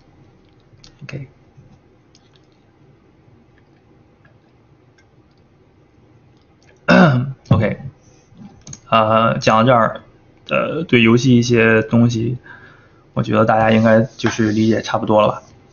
All right，跟大家去，终于开始玩一下软件了。呃，这些软件的话，我觉得，呃，先给大家看这个吧。这个是个 t h r e e c o t h r e e c o 呢，它跟那个 ZBrush 是呃一类的软件，All right，就是它跟 ZBrush 一类，它就是呃，比如说，就是大家了解都是那种叫雕刻类软件喽。对吧？像那个 Eden Zala，他就用 t h r e e c o 但是我个人建议啊，我我建议大家用 ZBrush。呃，我现在几点？我现在早上十一点半。我现在跟国内是十二小时时差。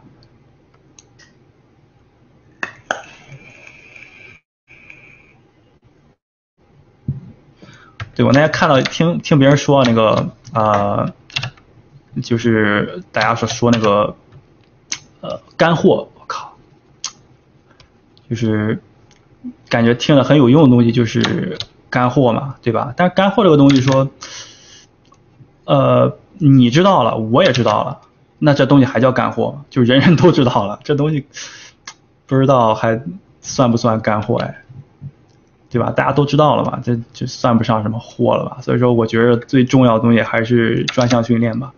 就是认清自己的一个呃职业规划，就是我之前我之前呃叨叨那些东西，就是大家对自己认知要把握清楚，呃，然后就是对以后的一个职业，对吧？对以后自己要做什么，做什么呃职位都要有一个很清晰的一个一个一个认知。然后这个软件的话，然后根据那个的认知去去研究那个就是公司他们是如何出图，他们用的软件是什么，他们工作流怎么样，这些东西我希望大家能够自己去真的是走进我我跟大家看的只是不到千分之一的人，然后有很多人是玩 A 站的，有些人是不玩 A 站的。所以说，并不是说大家在 A 站上看到都是大佬。我跟你说，公司里面有一部分人，他是从来不发图的。OK，这很可怕，就是他你都不知道有这号人，但是他在游戏里面真的是，呃，游戏领域就是跟他工作过的人都知道这这哥们儿是大佬。有很多人是潜水的，或者说有很多人他的。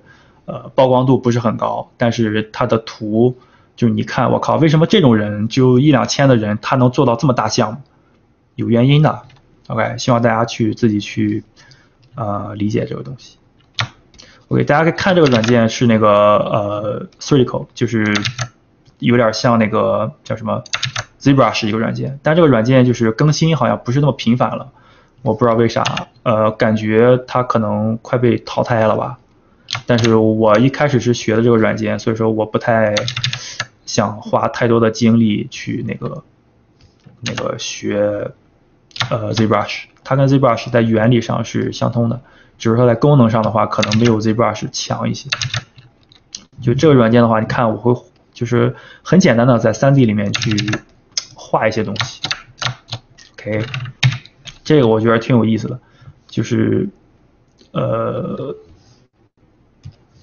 它有点类似于为什么一开始说 con 做 concept 人用那个呃 ZBrush 多，因为 ZBrush 最接近你的二 D 绘画，你直接在画画，你直接在三维里面去给它画画就 OK 了，对吧？你不需要去学太多的去像玛雅、在 3D Max 还有 Blender 一样，你需要研究它，你不需要去研究它，这个你真的就是我我分分钟我画个东西就 OK。OK，这个是我挺喜欢的一个，它比那个呃 ZBrush 要强的一点。但 ZBrush，但是它的有个致命的一个缺点，它这个软件优化有问题。就是我当我模型数，你看这儿模型数大概是嗯 two million 还好，因为我电脑可能配置高一些。如果一般电脑的话，到 two million 或 three million 的话，三百万、两百万，你这软件就已经卡了。然后像 ZBrush 那个软件的话，你到个比如说十 million，你都可以流畅自如。这就是一个软件的优化问题，就这个软件优化上有问题，它不能够那个做就是挺挺大的一些图。就它只能在那种很 sketchy 的一些程度上去去动。你看我现在图层只有两个，如果像 ZBrush 我把每个东西都分层的话，它会乘一个十倍之类的东西多，所以说它很难做一些就是呃，就是我所谓这种拼模型就别想了，因为这个东西是很很难拼模型。但是它在这种出草图。呃的程度上，我觉得还挺有意思的。就是我不需要一个很精度很高的一个程度上，我去做点图玩，我觉得挺有意思的。然后呢，嗯，哎，就是这个是跟那个 ZBrush 的一个区别。但是 ZBrush 它这个软件，呃，我感觉它就是强大。它真的是在那个设计领域，呃，最强大无之一的一个雕刻类软件。哎，啊啊，对，我再跟大家去快速演示啊，我就不跟大家去解释我怎么快捷键这个那个。就是这个，你可以很快的去出效果。我只想给大家看一下，就是我出效果是怎么个快法。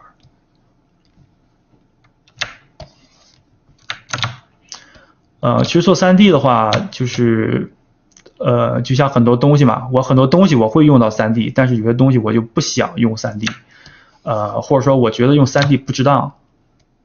然后有些东西，比如说你假如说啊，这个东西是很复杂的一个机器人，那我觉得我靠，这 3D 我我。妥妥的会用，呃，但是不是说真的是每个东西我都是我学 3D 我不用 3D 我就亏了，不是不是这样的。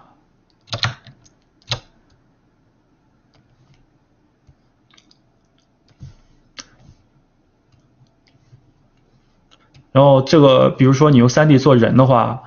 呃，一个在设计上会想，再就是说你在那个人的一个动态的一个感觉上，就我怎么摆这个动作。你可能画的话，你可能说，哎，我会埋怨自己，我对人体理解不好呀，我画不好，对吧？但是说你都用 3D 了，这个人帮你帮你放出来了以后，你还做不好，这是什么问题？对吧？你要给自己分析的，对吧？我为什么我有 3D，我这些我不用担心肌肉结构，不用担心这些比例的情况下，我人摆出来。还是挺感觉挺挺别扭的，这是一个对人体动态的一个理解的一个问题，就说我人怎么理解，对吧？这是对你一个感觉啊，呃，也是观察生活，一些光画的不真实之类的东西，这都是对生活观察，我觉得是有有问题的一些学生。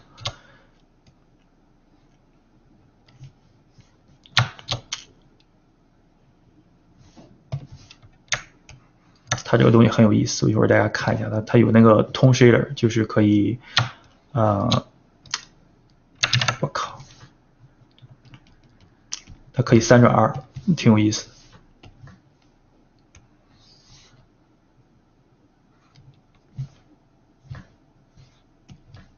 靠，为什么老选到下面那个？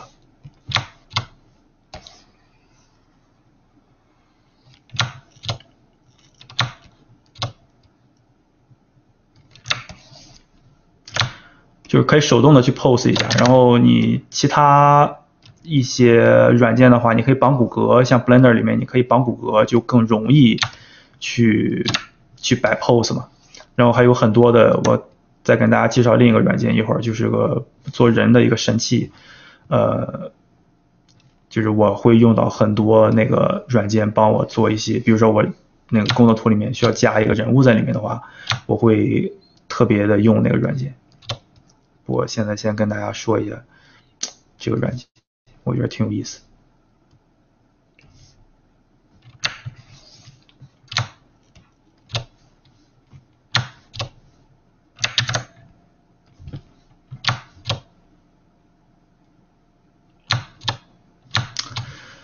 Ok 然后再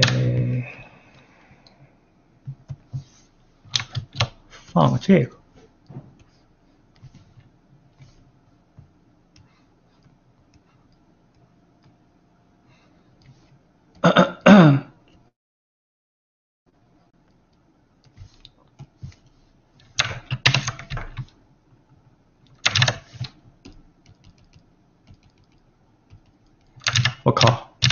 我忘分层了。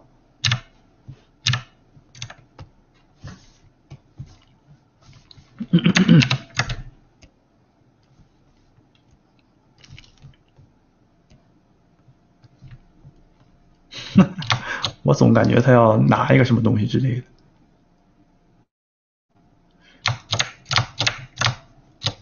OK 啊，还有个球呢。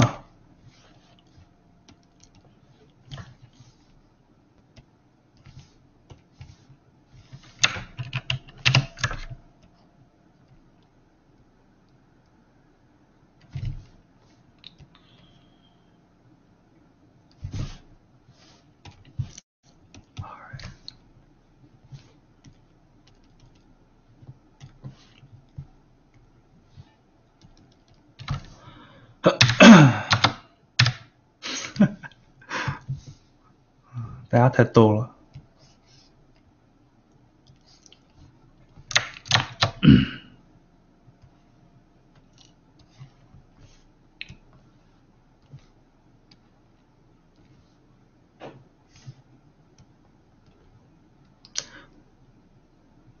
其实有些有时候你玩那个，我靠，有时候你玩那个三 D 的时候，你会感觉挺就像玩游戏一样。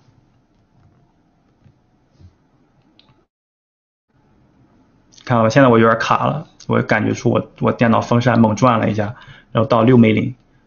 其实这些东西在那个呃在那个 ZBrush 里面都不应该是事儿的，但是在这个软件里面它就成了个事儿。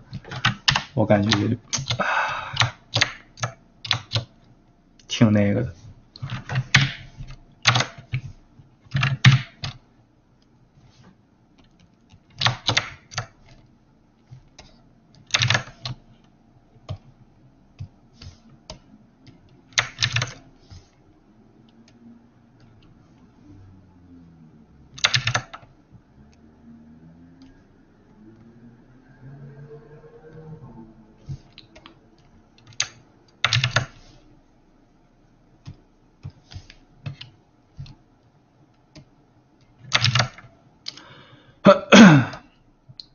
什么地形啊之类的都挺方便。不弄这个了？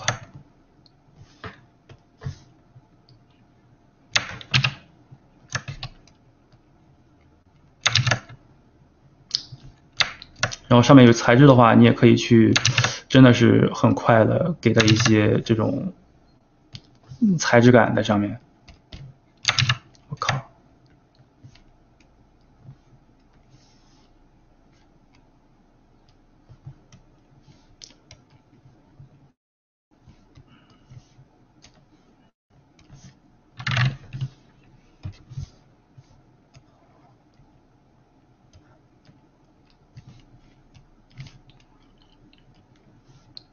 我星期天还上班，这有点惨不忍睹呀。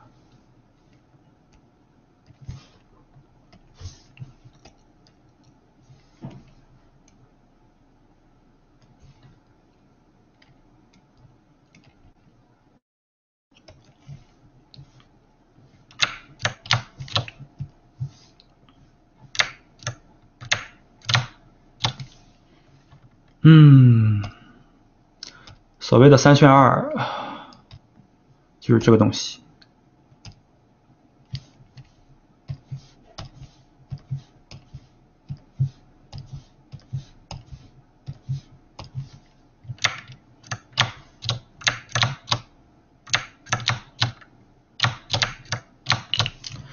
球是哪个？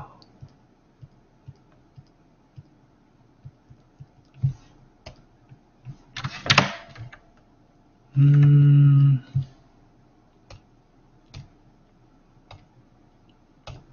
就，是那个地面。我靠，我刚才竟然加个名字，忘了。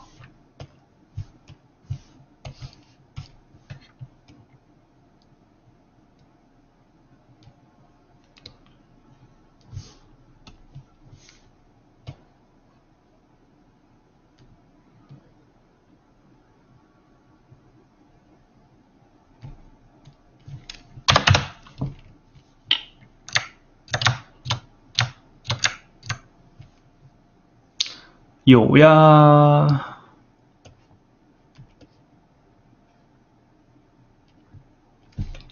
然后那个 ZBrush 它二零一九不是就专门加这个通 Shader 吗？你做完以后就有这个东西，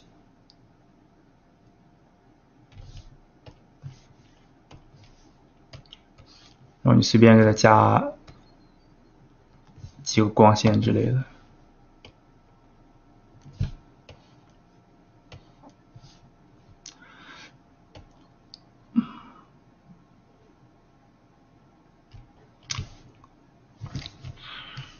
高光有点太，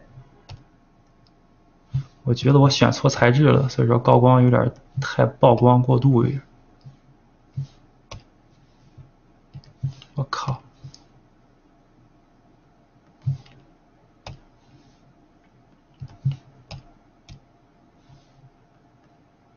对，基本就这个意思吧，大概这就是一个，呃。对于就所谓的三选二的一些一些一些东西，我记得是这个材质，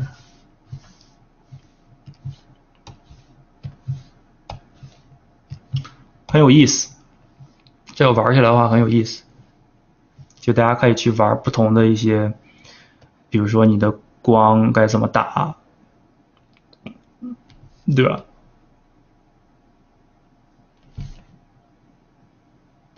然后它这个呃 t h r e c o 里面，我觉得比 ZBrush 好的一点就是，它呃它是 Real Time Render，就它是也是实时渲染，就它在里面可以实时渲染，我觉得挺挺给力的。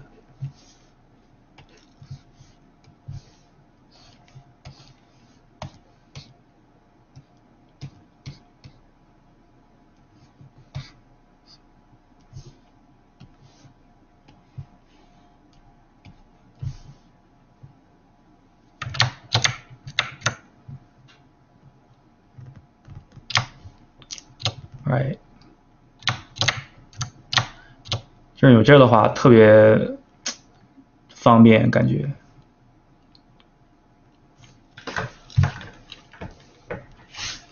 对，这就所谓的一般这个软件的话 s r e c o 跟 ZBrush，我建议学 3D 软件的人，呃，要选两种软件要学，啊，除了那个那个那个 SketchUp 啊，SketchUp 就是一个。嗯，拼模型的软件吧。如果说你想我我自我发挥的余地多一些，我空间多一些的话，你学建模的话，呃，我我建议你做单体设计的人和做角色设计的人，当然可以导出图片喽。你做那个单体设计和做角色的人，呃，ZBrush 首选。OK，ZBrush 是首选，然后那个 t h r e c o 可以尝试，但是不建议。因为这个东西真是做那个呃模型数一上去以后，真是卡的要要哭死，对你的那个机器要求会很高的，嗯，对，但是做场景的话，我就不建议你选那个那个呃叫什么 ZBrush 了。场景的话，ZBrush 的话，它里面没有摄像机。然后它渲染很弱，它需要借助 Keyshot 去渲染，所以说那个不太建议。这是做设计方面的同学啊，做设计方面同学，呃，ZBrush 加 Keyshot 就 OK。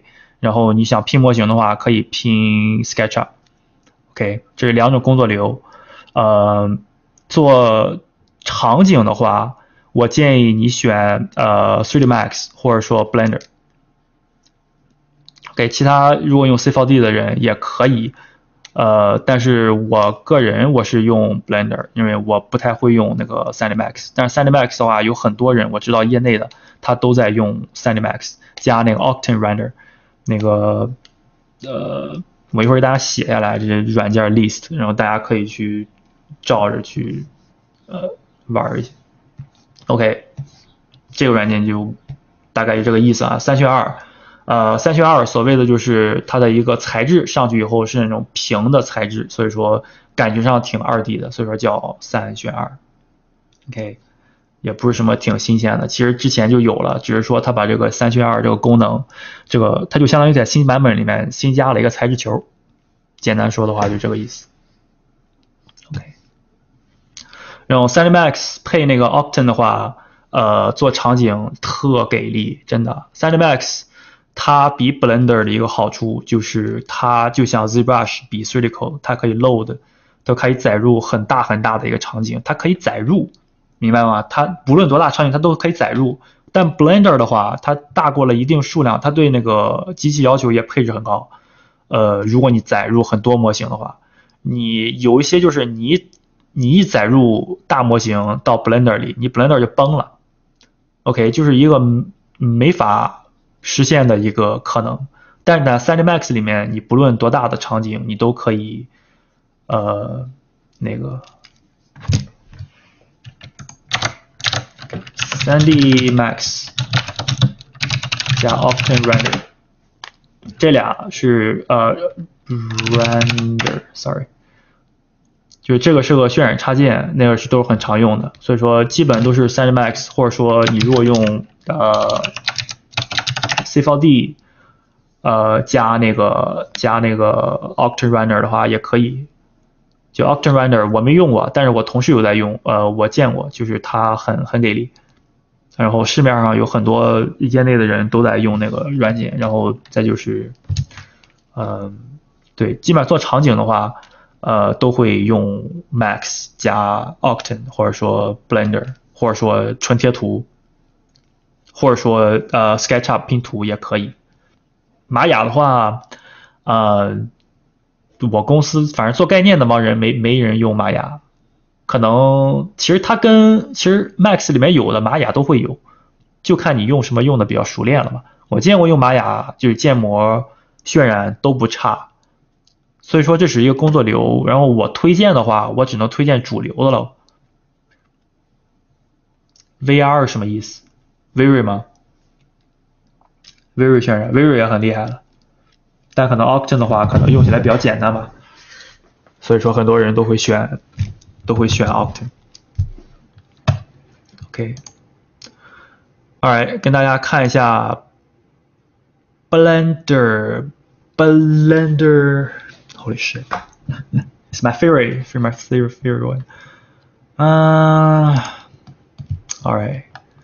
这个软件七月份就出正式版了，呃，我觉得挺好用的，嗯，然后它有实时渲染，然后还有一些 GPU 加 CPU 渲染，然后建模有很多插件，啊，总之来说你用熟了的话挺好用的，但是说你用那个比如说 3D Max 或玛雅再到 Blender，你会觉得很吃力。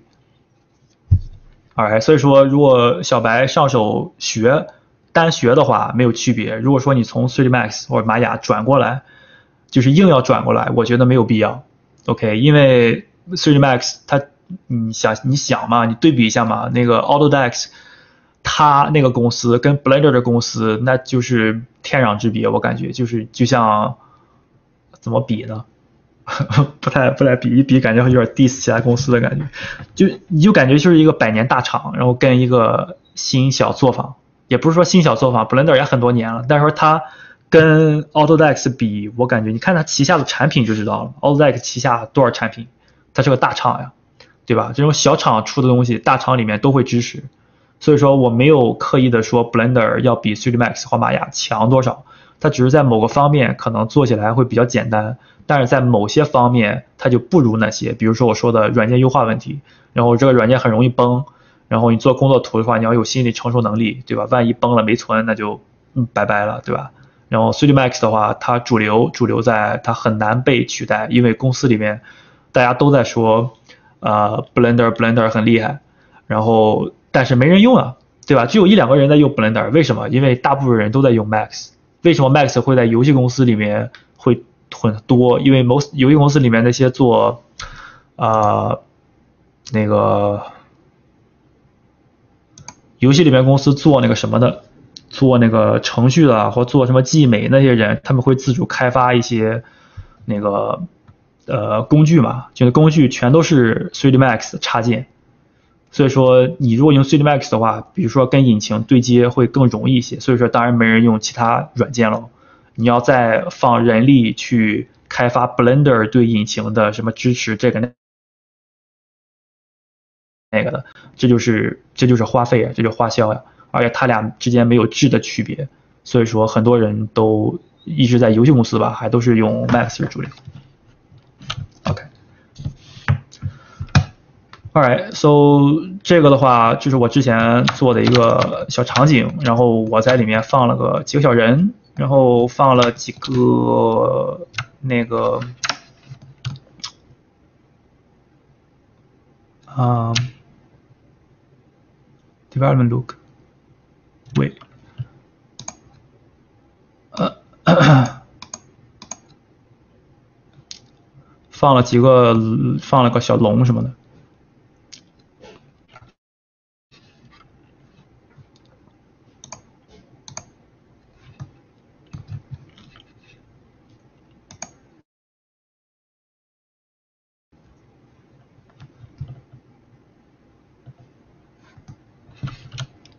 OK。这就是 Blender 嘛？你其实用什么图都可以，呃，用什么软件都可以做成这种效果的。我只是说用这个软件在用。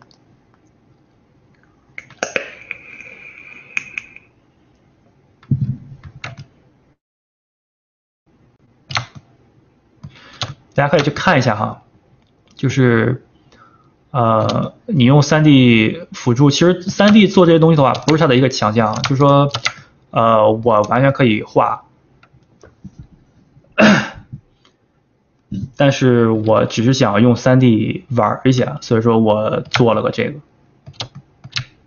就是它不是那个，就是其实做这种图的话，它不不用 3D 也可以，我只是说给它，嗯，比如说做个小城堡，然后摆点树，放点这个石头什么之类的，反正很简单的。然后我作为一个场景，我做场景比较多的一些，嗯，就是我感觉用 3D 的话可以帮我去，嗯，对，那个太阳是后面一个 BPR render，那个那个 HDRI 的一个东西，就是它对我的一个帮助，只是说那个我可以，呃，在我的构图上。去，去帮我就是很快的一个找到一个我很喜欢的构图，或者说我很简单去那个就是找一些构图的一些东西，然后你可以做这些呃 灯光，一般是我是就是看两个屏幕，现在我在直播的话，另一个屏幕就不那个。呃，就是它应该是可以怎么玩哈？应该是你比如说这边我是看着我的一个相机在这儿，对吧？然后我在这边的话，我就要去研究我的一个构图嘛，对吧？我觉得这个人可能比如说在，对我现在这个场景就已经挺大了，大概是你看这个大小大概是。呃，二十九 million 左右，就是三十百万、三千万，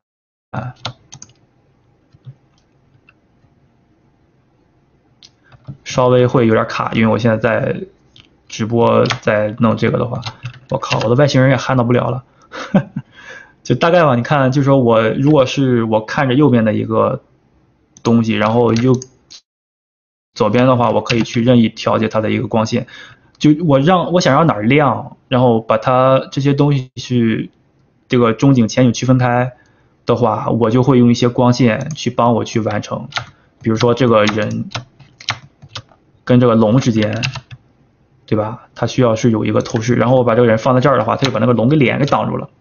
OK，所以说这些东西的话，就会我会在构图大概确定的情况下。我会就是左边开一个这种呃呃图，去帮我去找一个比较棒的一个那个呃光在里面，然后我还可以调它的一些，比如说颜色啊之类的。OK，然后这一块的，就是大家看这些地方的那个，其实空间是挺复杂的。然后我怎么实现这个空间复杂关系？我就是为了，呃，一是它在后面这个像是一个背光，哎，然后它背光的话，就像这种呃边缘泛光啊，然后背光的话很难去把前面的一些东西这种呃背那个呃 depth 那个叫什么呃空间感，就是拉得很开就不真实嘛，所以说这个地方要给一个弱对比。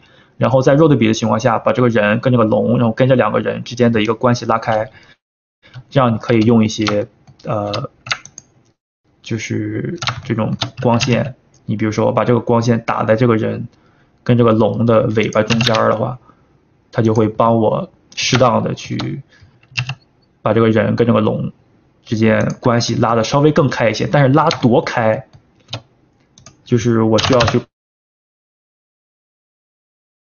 控制嘛，对吧？就它的一个光线强度呀，还是光线的饱和度之类的，就是这样的一个。就是其实其实我在这个画面的话，我构图的话，我是在我是在画画，我是在以画画的心理去去构这个图，去制作这个图。OK，我脑子里边想的都是说他们他之间的一个空间感，然后这个里面这三个人。这三个人，我感觉，比如说我看这个人的话，再看这个人的话，这个人对比度感觉比这个人强了好多。然后这个人其实是主角，那他俩之间的话关系有点强。我脑子里面想的是这些东西，并不是说我用三 D 的话，我我要怎么想建模呀，呀想这个那个的。所以说我就会感觉哦，你难道是这个光影响这个人太多了，对吧？然后把这光离这个人稍微远一些，可能饱和度的情况下，我要稍微饱和度降低一些。然后，比如说他们的一个主光源，比如说在这儿的话，它走一个冷光的一个色调，那它跟背光的话，对吧？这个地方这个门跟它就会更强一些。OK，就我脑子里面想的，其实还是一些这种呃颜色上，这种空间上，这种呃对画面结构的一些想法，然后它的一些细节，细节就是它们之间的一些。这种关系，比如说，我想我的视点是往上引导，对吧？然后他跟这个人，大家就看这个部分，就他跟这个人造成这个光线给这个人造成的那个，呃，就是高光跟这个人形成个对比，跟他之间这两个视点之间有多强？我不想让他多强的话，我就会控制，比如说这个光离这个人远一些，或者说把这个人的材质那个反光度。调低一些，呃，这个模型我没在 Blender 里边调，我觉得在里 Blender 里边调那个骨骼的话挺麻烦的。然后我用其他一个软件，我摆好了动作，直接把模型放到里面，就直接靠 Blender 渲染用的，就是我没有靠它去摆动作。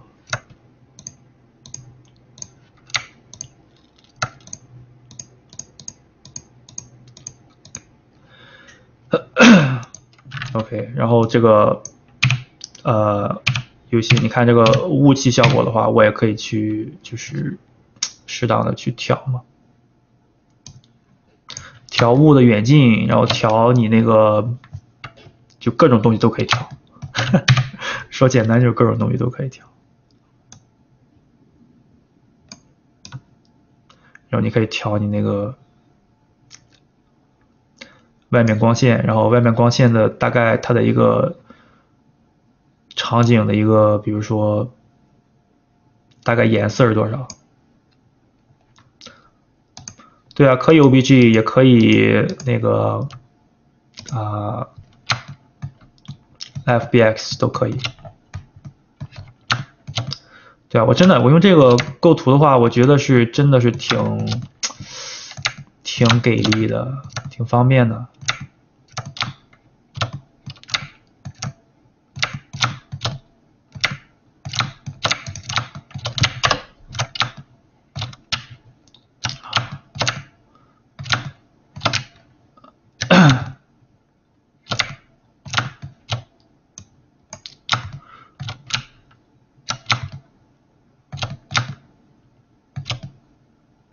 对吧？如果说像这种就是用到一些镜头语言的一些东西，就是我想如果说给一个近镜头给他的话，我想显示它的一个威猛，对吧？我就会从视角稍微偏仰视一点，这些东西就是有关镜头的一些东西。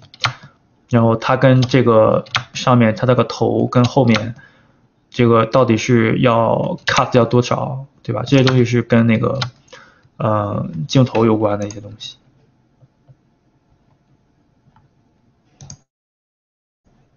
然后一般调的话，我会把一些这种特效之类东西都先，呃，都先关掉，因为它调的会稍微快一些，要不然它挺慢的。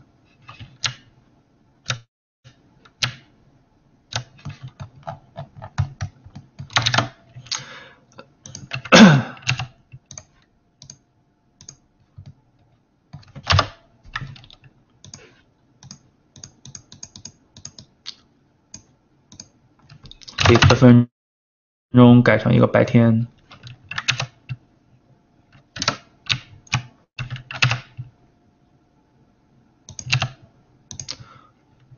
然后我会调这个的话，就打光的话，我一般都会看它那个关注一下它投影，就是我想让大概怎么样的一个背光，对吧？比如说这个人的光打在这个剑上之类，它可能跟后边儿重叠了。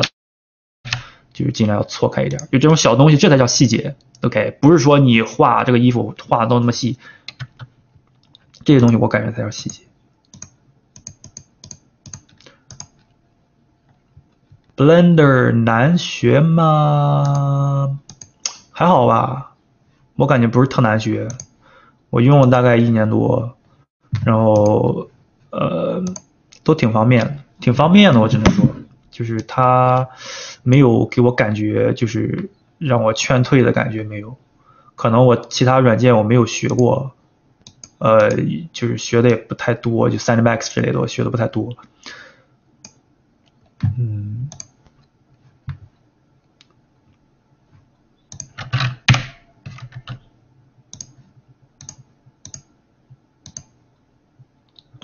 很快就是。我现在稍微的，就是有点，我感觉到有点卡了，就是不是特别的，不是特别流畅。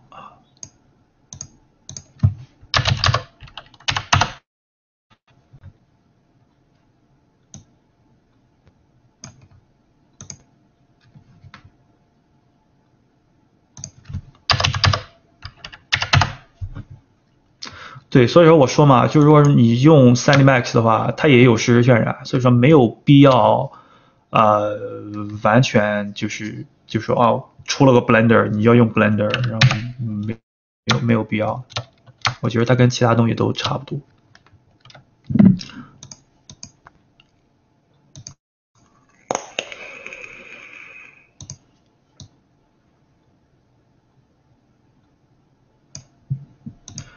调它的一些泛光，大概是，比如说要什么样子，加一些那种小反光，reflection，volume light，volume light，啊，shadow，你可以调成 soft shadow，就可以把它呃，建模我有一些是拼的，比如说这个人和那个龙是从别软件里面放的，然后树也是，然后其他的东西是建模的。我建模其实很弱的，我不太喜欢，就是研究东西的建模，我感觉这都是挺挺鸡肋的东西。呃，龙不是建模的，我我我说吧，我建模其实挺弱的，我可以研究建模，但是我不想成为 3D，OK，我觉得我自己还是做概念的，所以说我对场景，呃，这些气氛、这些构图、这些关系、这些做游戏的一些东西，我比较 care。嗯嗯，比如说你我会不会见个人，我会不会弄个龙，我我会，但是我确实我觉得不想花太多的时间去在上面去弄这个东西，我觉得意思不是特别大。如果有一个就是呃，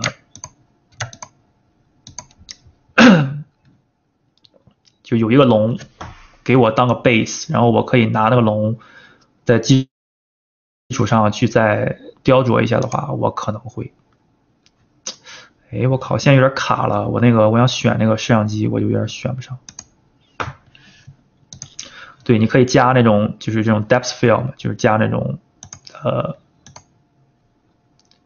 比如说聚焦，你把远景那些东西可以在软件里面模糊一下。其实这些东西都可以后期在呃 Photoshop 里面去完成，但是 3D 里面你可以，你可以做成这个样子。OK，你可以，你可以做成这个样子，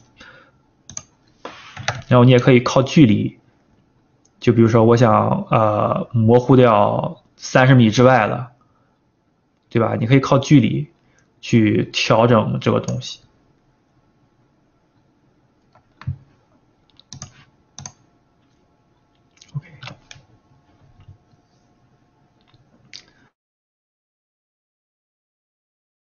对，基本三 D 就可以就是在你画之前，呃，它所做到的就是帮你完成百分之七八十的一个工作，就是我挺喜欢它的，而且你可以，它还有一些，呃，就是曲线嘛，就像那个，呃，Photoshop 里面的曲线，你也可以去去调这种，比如说它的一些颜色的一些对比啊，就是 color balance 这些东西，你都可以去在里面去调的。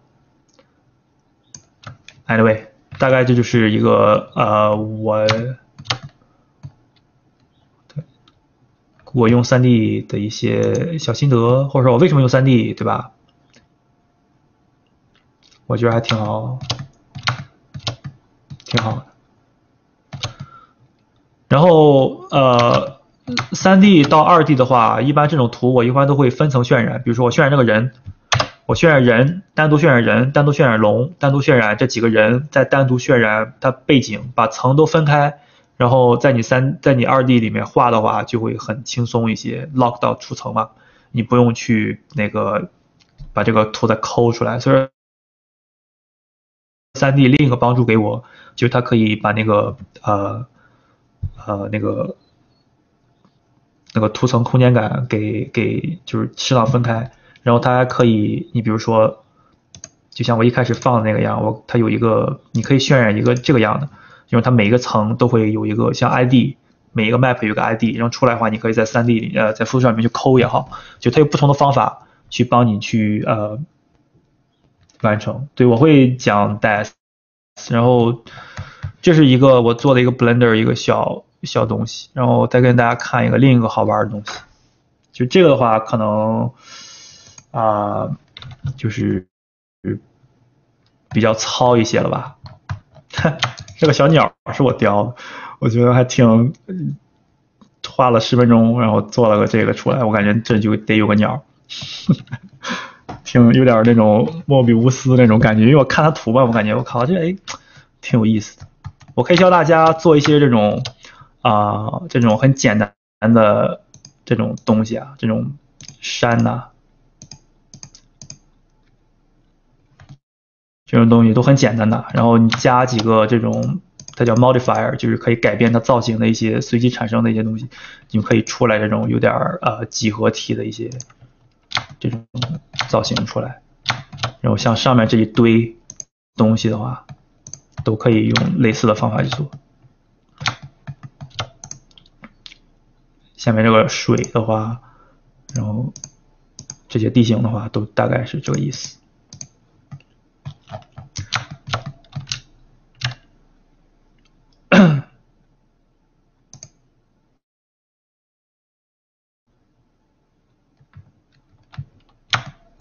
All right.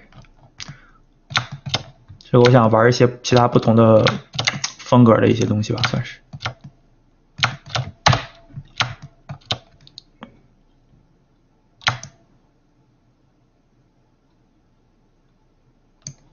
这还挺有意思的，嗯，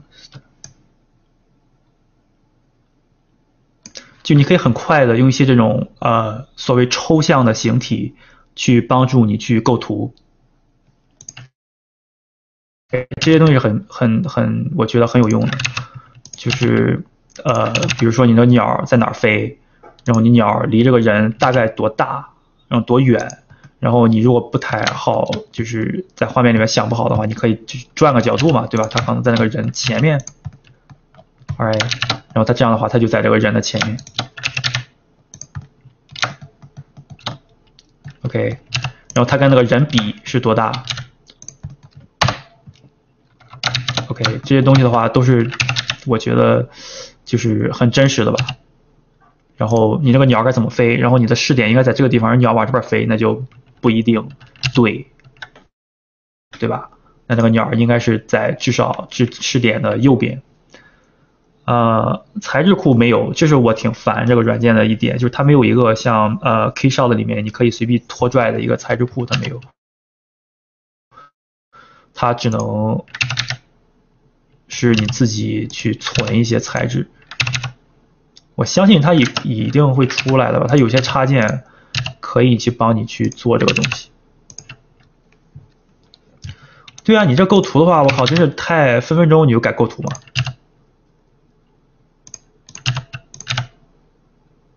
然后我我一开始想这个球把它变成一个呃做一个飞船或者是城堡之类的东西，我感觉啊时间有点来不及了，所以说我就随便呃放了个这个东西。然后一开始的话，它没有这个地上那个呃。这个水晶的这个东西，type sublime，the fuck，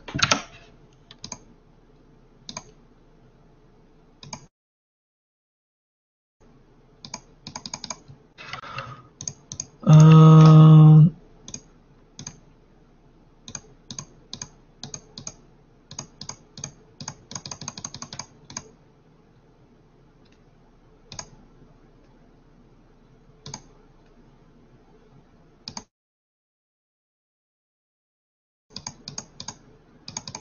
鸟的，我试着把这个东西给分层了，它为什么没有分开呢？对我一开始它地上是没有这些水晶的。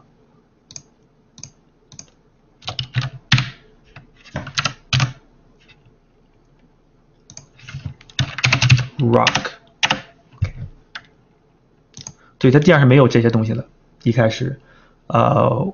这就为什么我想把就是三 D 跟二 D 去结合，就是当我看这样一个画面的话，我呃在构图的时候，我会想些什么东西？OK，我会想些什么东西？大概它在就是整个的画面结构，就是它我我感觉它这儿需要一些这种细节支撑，或者说之前我开始它那个呃，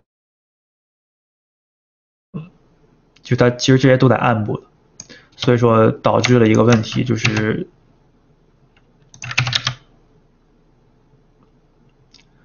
导致我需要它在这地方呈现一些比较亮的一些东西，就就把黑白灰变一下嘛。这就是我为什么才放了一些这种稍微亮的一些色块在里面。所以说它能够支撑住在暗部的时候，它也有那种黑白灰的一个对比。就说白了吧，这些东西就是一个呃，就是你你用。绘画的一些知识应用到你如果换了一个软件，我用三维的话，它能不能帮我去那个支撑我的一个对画面的一个需求，对吧？如果没有那个我不知道这儿要不要放一些东西的话，那你出来东西可能还会很平，即便你用了三 D。OK，就是为了我加一些元素在里面，我什么位置在加。我我加什么颜色的，像这些石头一样，就为什么我加这儿，我我不加这儿，就这这些东西，我觉得还是有必要去了解一下。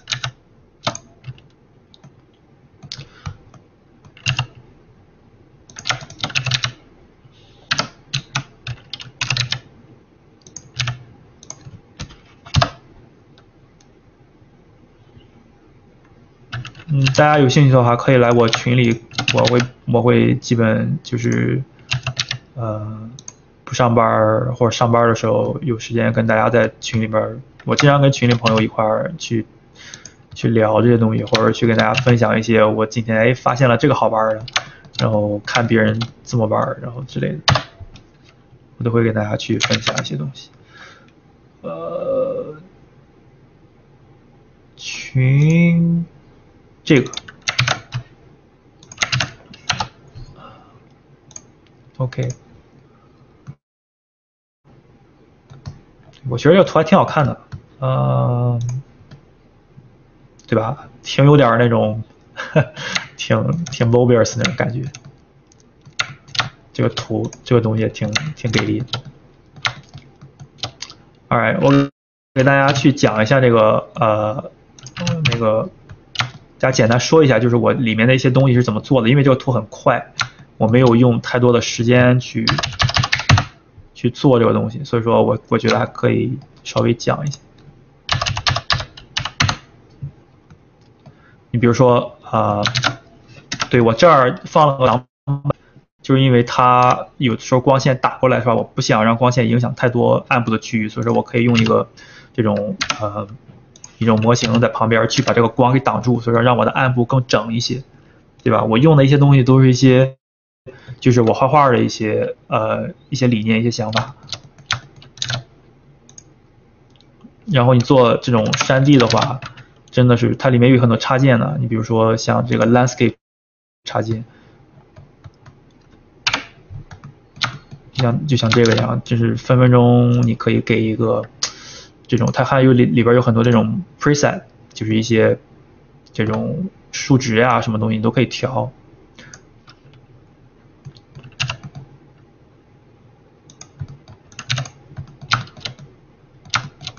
OK，然后你还会有很多啊、这种东西。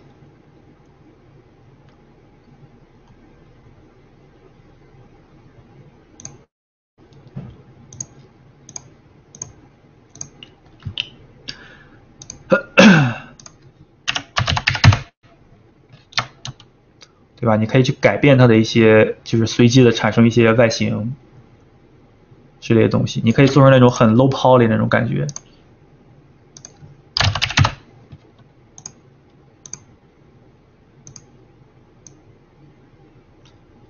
对吧？你可以给它一种很这种很 low poly 的这种东西。你可以追求你的风格化嘛，对吧？你不一定什么东西都走那种很，呃。比如说很真实这种东西，你可以给他一个比较风格化的一些，呃，一些东西在里面。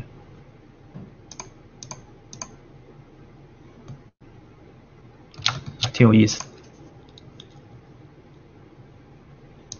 然后想象一下，你可以做那个，呃，就是把这些东西也可以都逐渐的给分开，把每个那种。边缘之类的东西。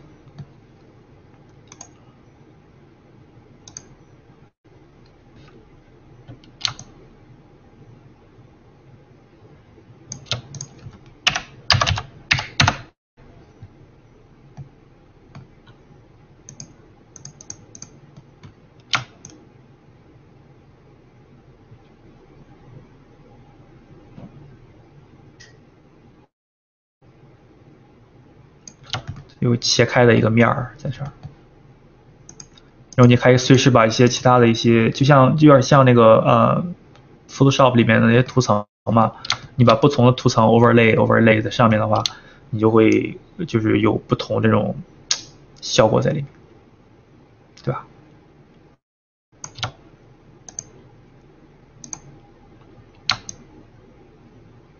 很方便的这东西。呃，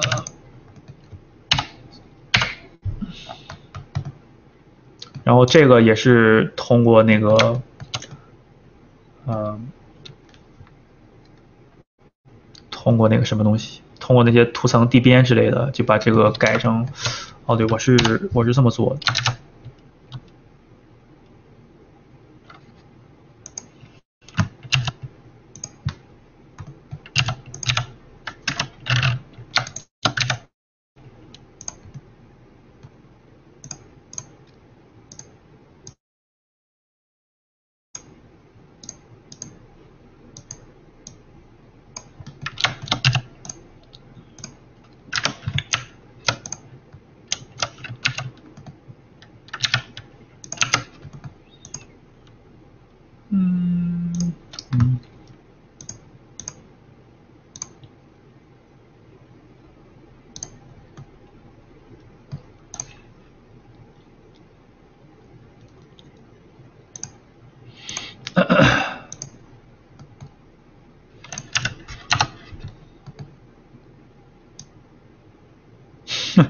可可以改很多就是不同的一些一些形状哦，挺觉得挺有意思。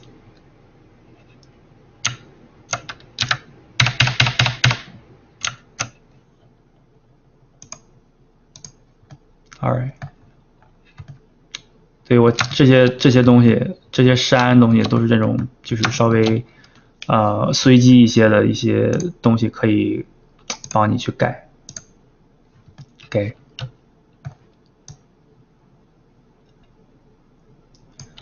就其实这些东西都是抽象的嘛，就是你当这些抽象的东西在你的最后画里面具象的时候，你有很多的那个方法啊，可以帮它去具象。对吧？你抽象的话，就是我们在画画的时候，就很多有抽象的一些表达。然后当你把这些东西给具象了以后，然后你加不同的这种呃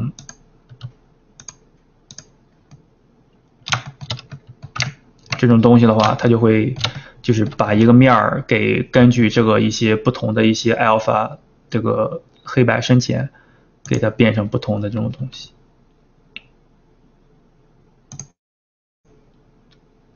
然后你可以平滑它，也可以不平滑它。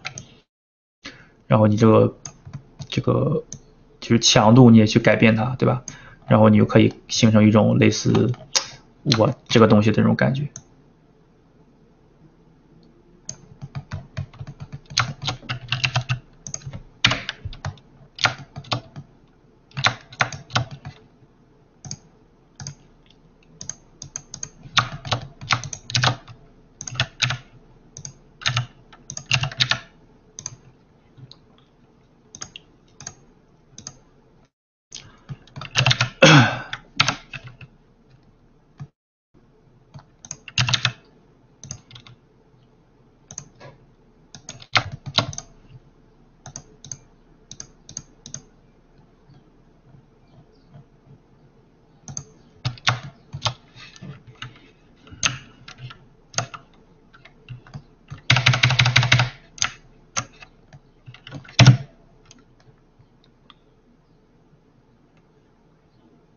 Right，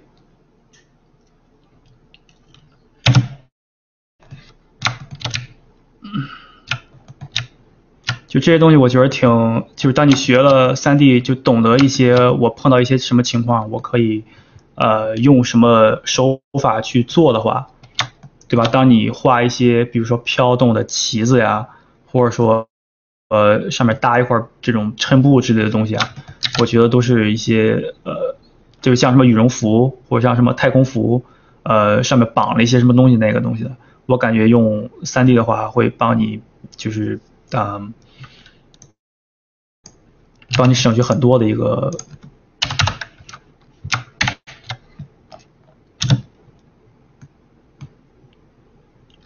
很多的一个时间，你去画它，然后你底下加一阵风的话，对吧？然后你这个东西就感觉像在漂浮一样。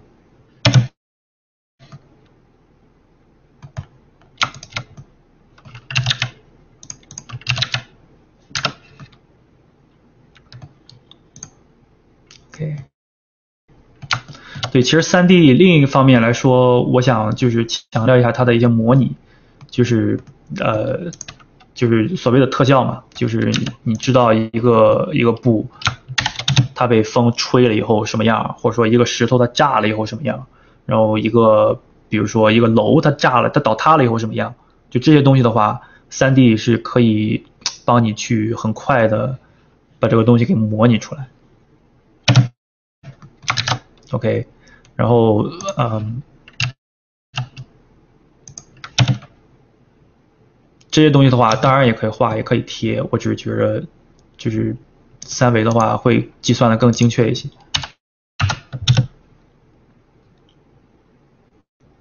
对？如果说你那个风再给它一个往上走的一个风，或者说往左边刮的一个什么风之类的，就这些东西，就是你完全可以啊，我没见过这个东西，或者说三维可以帮我。去通过就是物理模模拟运算，帮我去把这个就是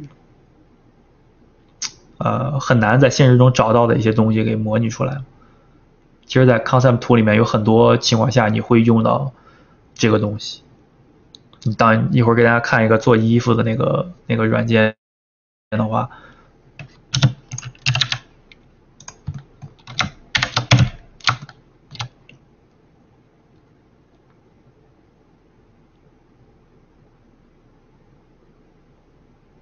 对吧？这就是它在降落的时候，然后有一阵风，有一阵微风在吹它的时候，什么效果？Right？然后这些小细节啥的，你都可以，就是呃，给它平滑掉，对吧？你也可以给它加加点小厚度之类的，比如说真成一种。一件衣服那种厚度，如果一开始它没有厚度嘛，对吧？然后如果觉得都满意，那也可以去，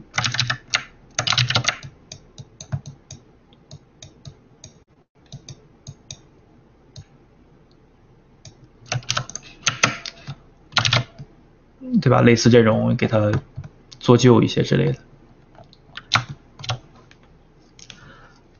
哎。OK，对，基本这就是我用 Blender 的一些做很多东西。这玩意儿都要看那种不同的项目嘛，也不是说就是它是万能的，你要考虑到做什么东西才能才能用。OK，至于里面的小人儿呢，我是用 Das 做，给大家好 Blender 既然跟大家看到这儿啊，因为的。它就是作为一个作为场景快速构图，然后用呃绘画知识融汇到你做 3D 场景里面，尤其在前期的一个过程。后期的话更好解决，你可以转到后期去画、去画画、去贴图。然后你不建我不建议的是，就是你深学一些呃各种 3D 软件的材质，因为那个是特难的。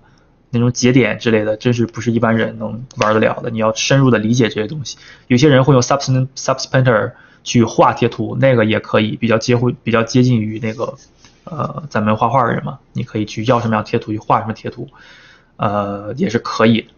嗯，就是我个人贴图的话，就是打材质的话，就是随便给它就是几个图层，几个层，一个 Base Color，就是固有色，然后那个反光。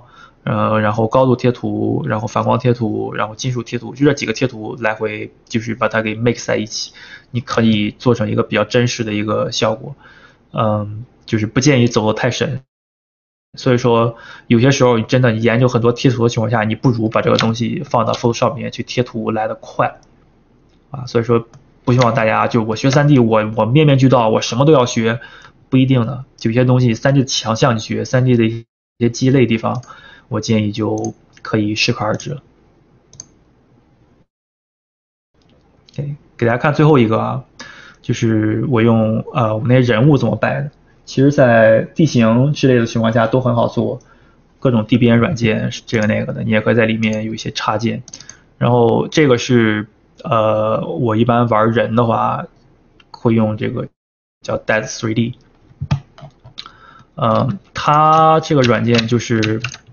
它有很多那种就是模型在里面，但是我就不放了，因为有一些是那种就是就是比较 naked，没穿衣服的，所以说不太适合直播，我就不不在里面给大家看。就是你可以哎摆一个动作，对吧？你可以在里面调任何任何的动作，然后这个东西就可能会比如说考验到你对这个人的呃。理解呀，对吧？人体动态的更，嗯，呃，更精确一些吧，可能是。你看他身体稍微，就是这种很细微的一些东西，这个软件我觉得做的很好。然后它是免费的，然后很多东西的话，你在某宝上也可以下载，所以说你可以有很多的这种，呃，有很多的模型可以选择。然后我一些这个可以推荐给做那个就是气氛图，你里面放放一些人，或者说你做人设的时候，然后后面再做衣服，做衣服用另一个软件，我觉得很很棒啊，也跟大家去介绍一下。然后这个软件我一般会做人设的时候，就是把它扒光了，然后做一个纯人摆个动态，呃，然后这种面部表情也可以去，就是适当的调。我他的眼睛怎么那个样？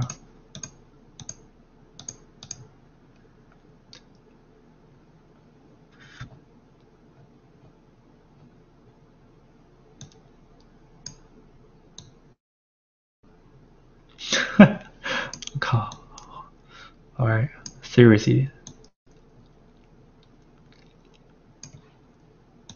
对我一会儿给大家看那个看那个软件啊，我觉得还挺爱跑。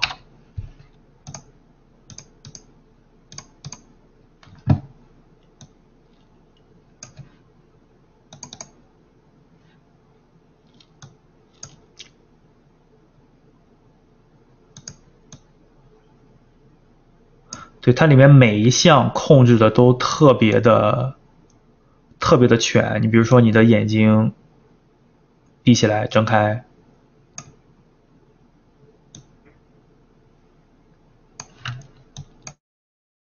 对吧？这些东西都是挺呃给力的。然后我的工作流，我想给大家去简单的分享一下。比如说，你做一个这个，然后把它导出来，然后你再那个把它头发就不要了。软件之间互导，它跟软件没关系，它跟导出来的文件有关系。就是说，你这个软件如果能支持导出 OBJ、FBX、CLADA、呃 STL 这些软件，都可以互导。就只是说，有的时候你导 FPS 的话，你去 Blender 或其他一些软件会有一些呃它的一些骨骼有点有点别扭，然后有有些 OBJ 就没有关系。所以说，这东西我觉得还挺，嗯。挺值得大家去注意一下啊，不是说所有的那个，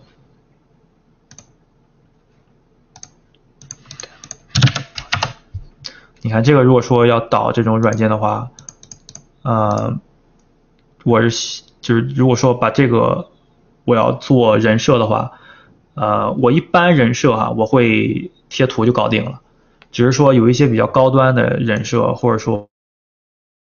我比较想想 show off，想炫技一下的人设，可以用这个软件，就 Marvel Design，刚才有同学也知道，对 O B G F B X 都可以。但这些软件你在家做私图可以，你可以破解嘛？你在公司里面这些软件很贵的，你要跟你的 manager 去说，你能不能帮我买个这个呀？啊你说你买这你能用多大程度上能用到？我说我偶尔用，那就 那就他就呵呵了，他就不会说每一个都给你买。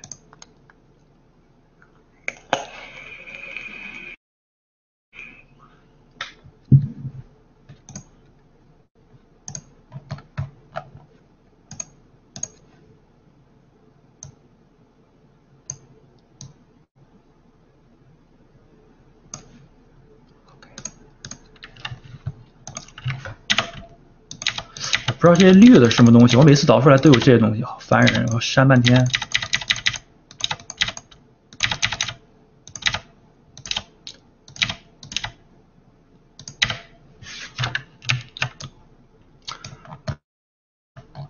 对这个软件我呃会用，但是我用的不熟练。我们那个老师 ZBrush 老师用的很熟练，那个 Casper 他做衣服做的超级溜的。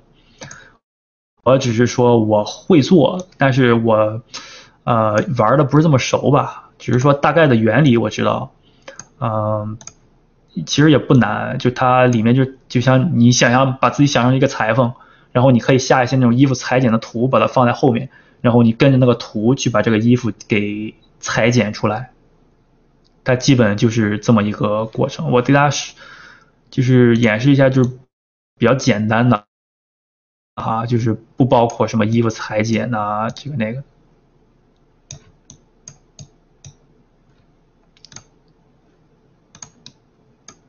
它还可以，All right。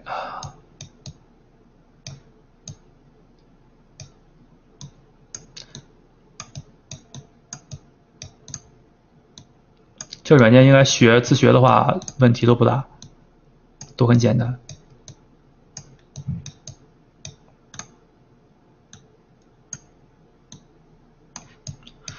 然后再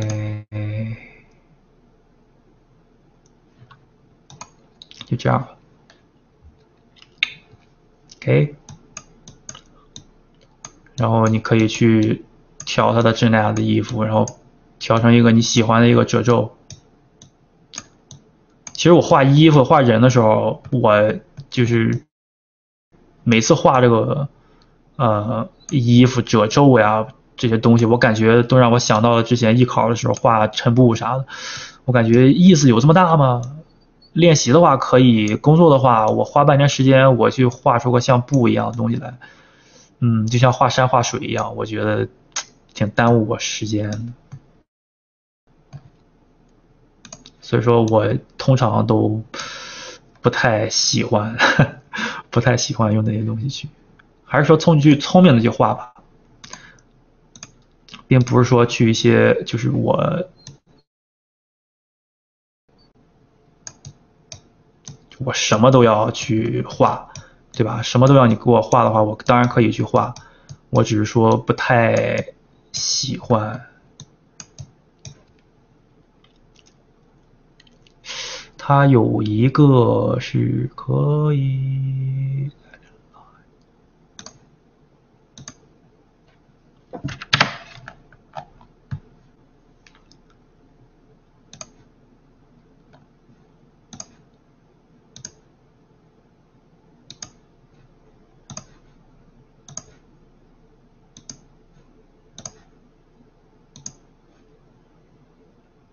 我忘。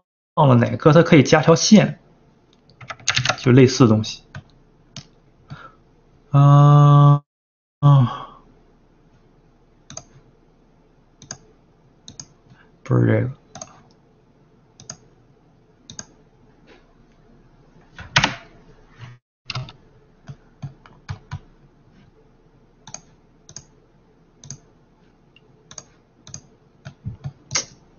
因为你要把这个东西给给给给折叠起来，然后你才能把它，靠，把这个东西给折叠起来，才能围到它身上嘛。我在在想它怎么围，我靠，我可能做的不对，我我好久时间不用这个软件，就是说把它这样的话，它才能把这个衣服给给围起来嘛。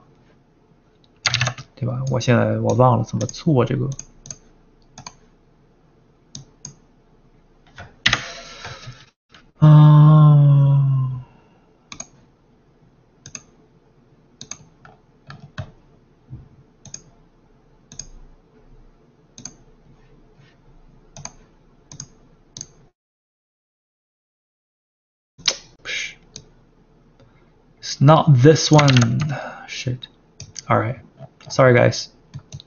对，它有一个地方是可以把它给加一条线，然后把这个东西给给给折叠，然后它才能围到那个东西的后面。哎，我可以这么做呀？稍等啊，不会围，我还不能把它给那个吗？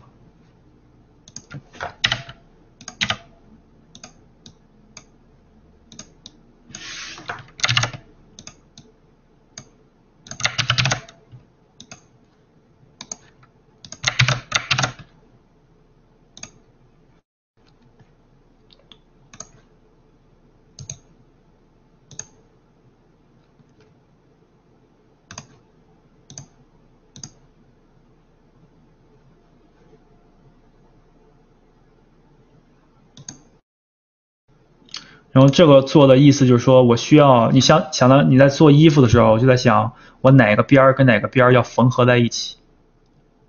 对，大概就是这么一个一个过程。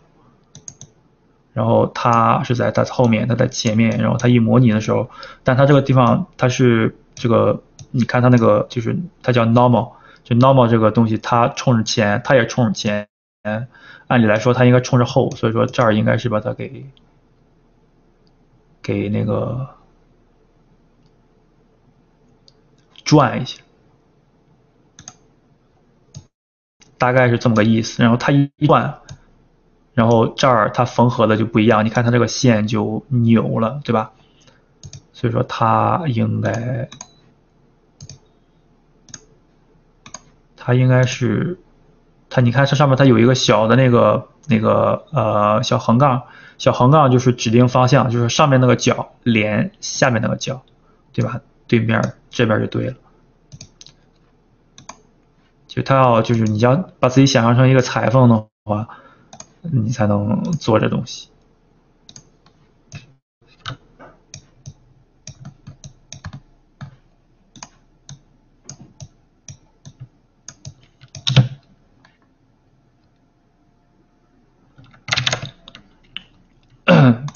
太长了，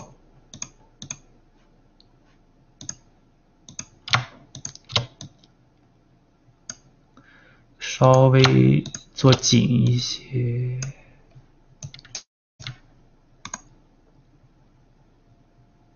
OK，然后他在那个衣服的上边，然后他现在穿插了，就因为他俩在图层都是一样的，所以说你要把它。放到另一个层，就告诉电脑来说，它是在这个东西上边的，好理解吧？就是它把它那个层分开，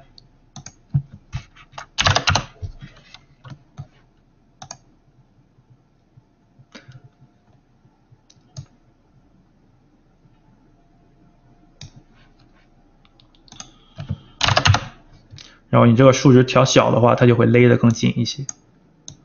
但是这些东西你你需要把它给塞进去，你要手动去去塞它，所以说挺挺费劲。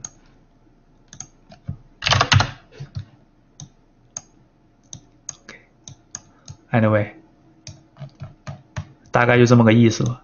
就是你说想做的话，还是挺我觉得还挺挺给力的一个软件，给大家推荐推荐。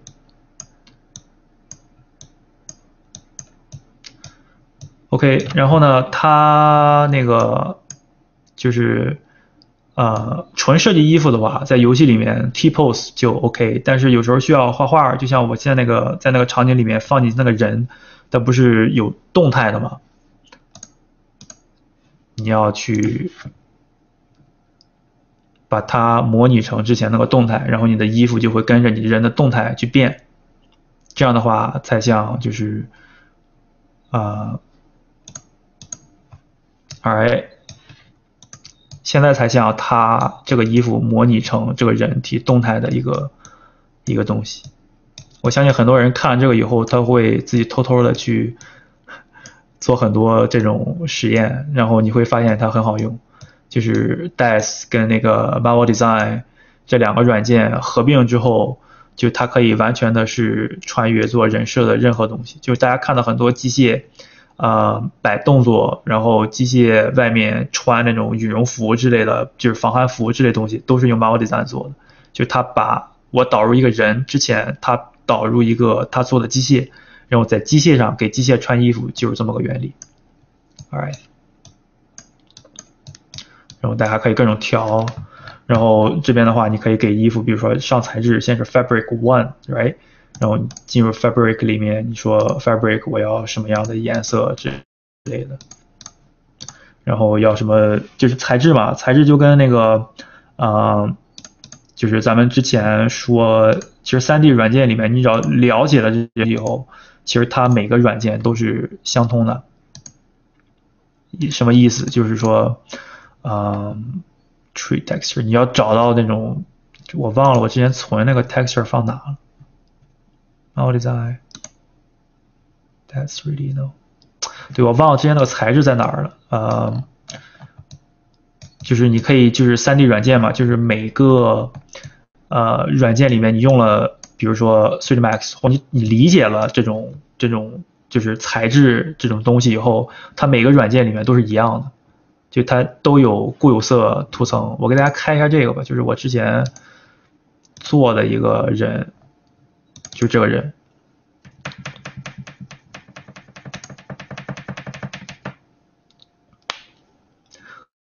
大概它的一个原理就是在袋子里面摆一个动态，然后把动态的这个动画的 data 跟模型一一并导出来，然后放到这这个呃 Marvel Design 里面，然后从 T pose 开始给他穿衣服，穿好衣服之后。给它通过动画的原理把那个从 T pose 模拟到你在袋子里面给它的那个那个 pose 的一个 data，然后哦你在模拟的过程中，你那个你那个身体形状不会变嘛，对吧？它叫 morpho，它这个 death morpho animation，就它那个形状变了以后，你这个衣服就会依附在根据你那个形状去呃。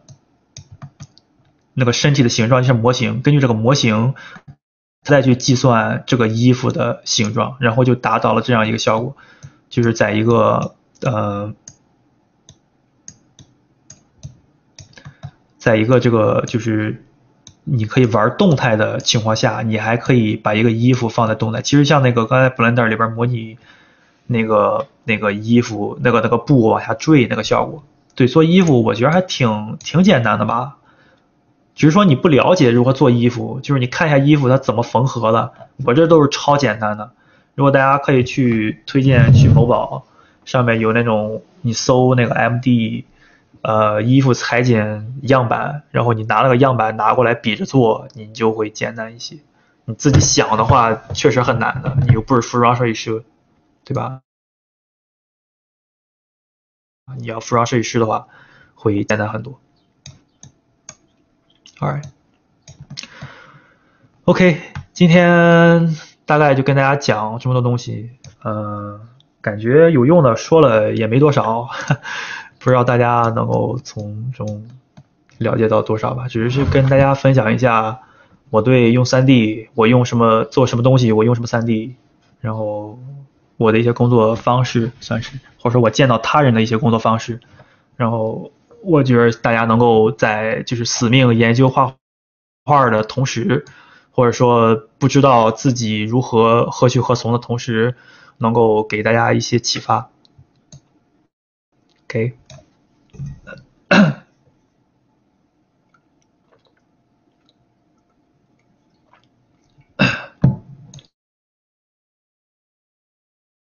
right。OK，大家今天就到这儿，有没有什么问题？现在到了答题环节。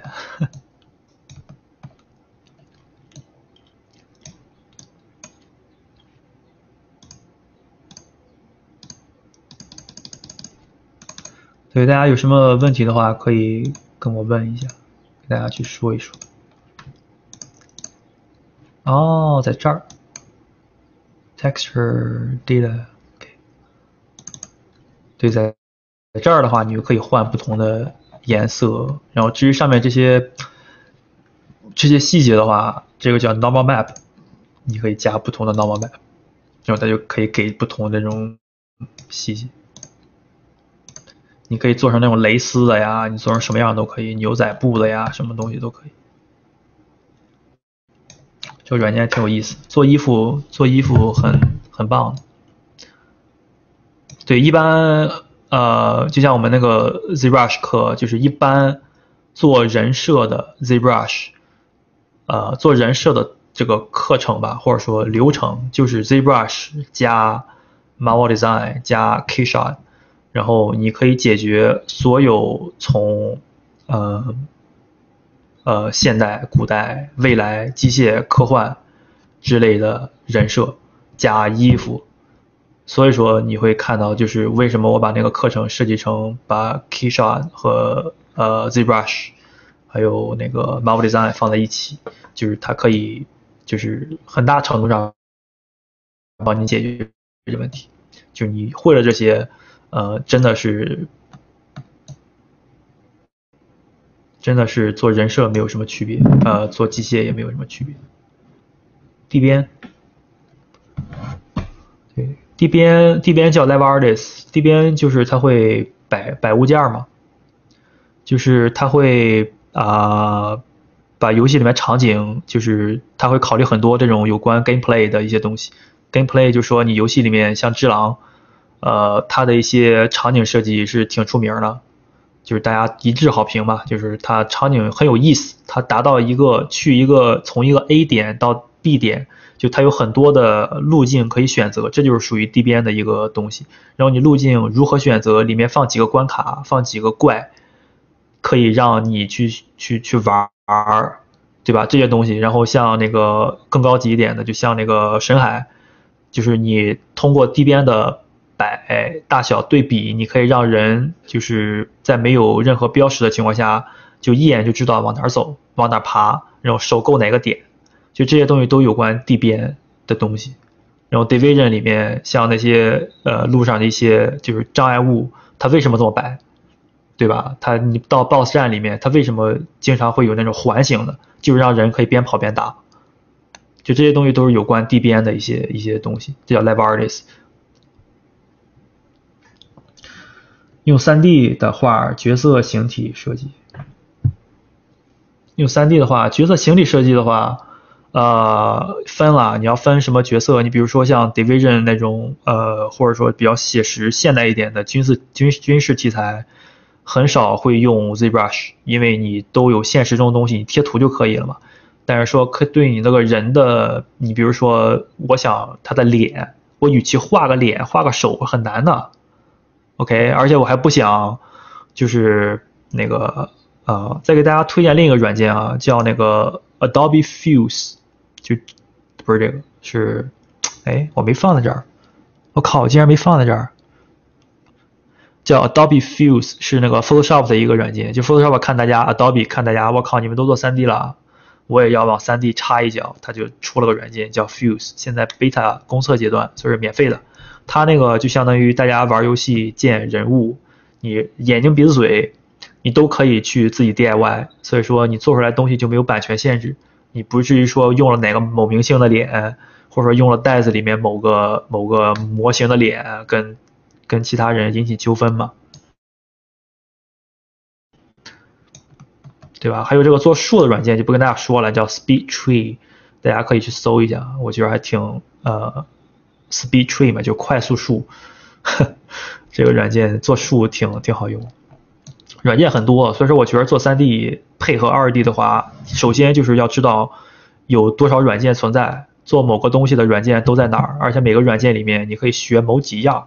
所以说，你碰到做树的项目，对吧？就做那种，比如说 Far Cry 或者叫 Assassin's Creed 那种树很多的项目，那我完全可以利用这些树嘛。我当然可以贴图喽，但贴图你不嫌抠边麻烦的话，你就贴图，对吧？你或者说想走那种纯真实的话，你就你就你就用那些做树的一些模型啊软件，或者像阿凡达、a v a t a r 那些软件，呃，不那个电影，对吧？它整个场景就以树为主，而且它树的设计有一些还都是很很苛刻的那种。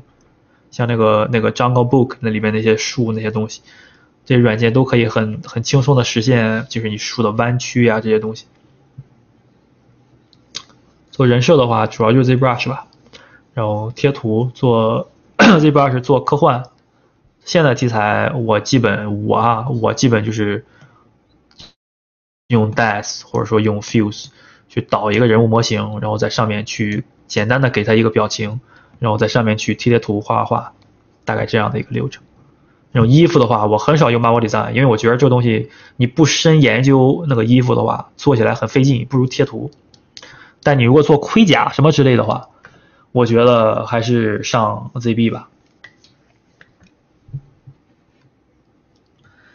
新人做场景的话，有哪几项特别重要的优先学习项目？你说做场景是画画吗？还是说就是想用呃 3D 辅助的做场景？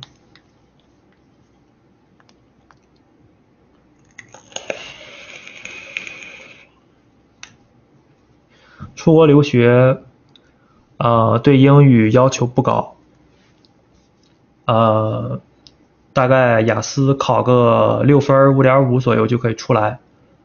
呃，它分国家的，然后分文凭。你如果考那种专科，就 diploma，呃，的话就不是特别高，五六分吧。但你如果考研究生，那就七分以上了。然后不同的国家，它比如说澳洲那边可能对我当时听说就要求七分，然后加拿大这边会低一些，因为它是移民国家嘛，它需要把门槛稍微降低一些，所以说大家都可以来。呃，然后。但是你来跟我看到很多同学来啊，很多人，尤其是过来那种像，其实在国内已经很牛逼了。他来以后就是为了上个学拿工签、工作移民的。那些人，呃，他的优势就是工作经验很充分，很有竞争力，但是他语言是他的一个大弊端，就来了以后他很难融入社会，他语言就是学不好，因为年纪上去了嘛，年纪大了以后，他话他语言就学习能力会相对弱一些，就是希望大家能够就有这方面就想法的要出国的同学，呃，一定要把英语学好，呃，英语就是我觉得还是挺最关键的。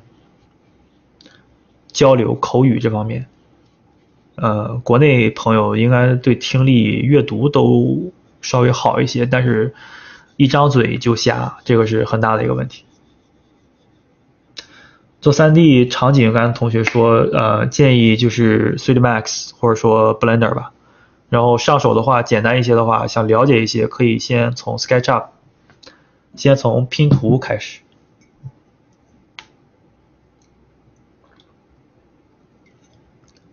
拼图的话，我有一个图是拼的，给大家看一下。就之前呃上课一个小，就是用 SketchUp，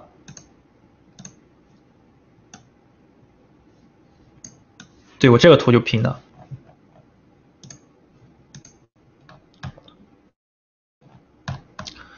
找一个小背景，然后大概想法做一个那种机械的那种 lab。呃，实验室之类的，然后下点模型，打光、渲染，然后这下都手绘了，大概完成图就是这个样子。对新人的话，可以尝试一下这个路子，我觉得挺简单的，就是帮你在透视上去解决一些问题。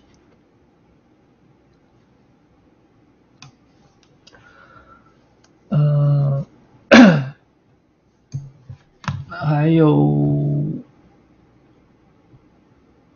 设计人物的剪影、几何组合怎么训练？啊，剪影这些东西，就但凡什么东西说到剪影，我认为都是跟平面设计是挂钩的。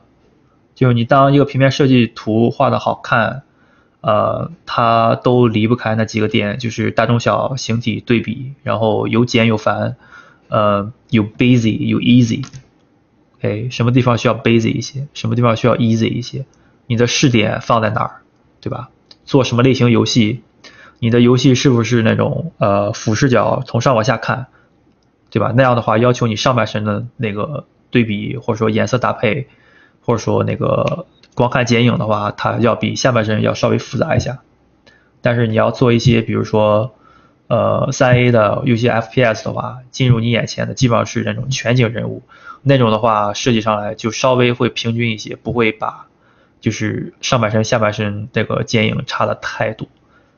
剪影的话，就是我感觉就是一个节奏感的一个控制吧，算是。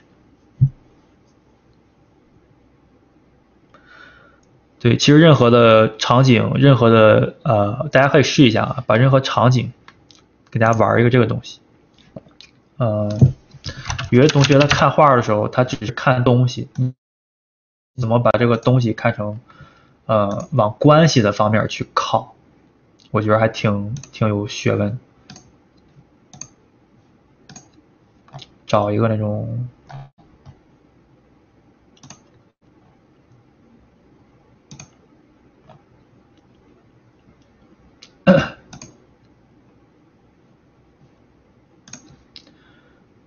嗯找个这个图吧。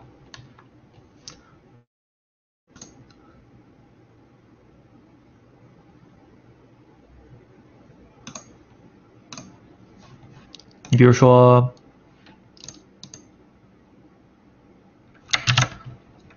对，稍微演讲一下，就是说，什么叫把什么图当做平面设计去看？就是说，你在看这个图的话。你在这个角度，你认清啊，这是个桥，这是个房子，这是个房子，什么什么之类的，后面是个桥。但是你如果把这个图倒过来的话，或者随便翻出来，你认不出来这什么东西的时候，然后你再给它，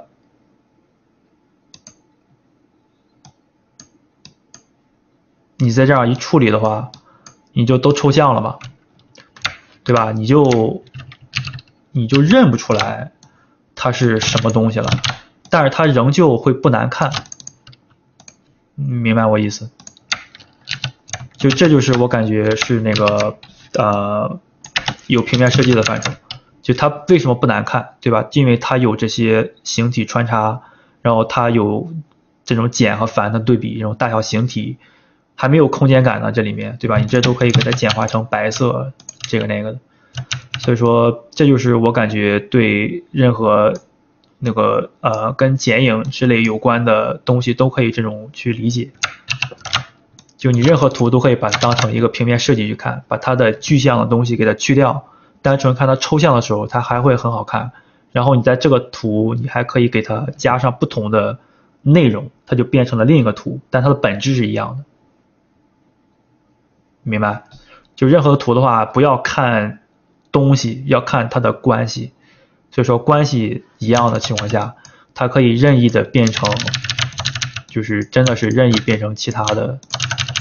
任何东西，它都会是一个挺挺好看的一个图。任何给它加点这种，你只要掌握它图啊，它为了是把这儿空出来，对吧？然后细节加在这儿，然后我这个细节可以随便的给它放细节，都不影响，都是它图的一个本质，它的一个根本的东西去改变这些东西，画画的东西了。所以这东西我感觉挺基础的吧，大家一定要去理解。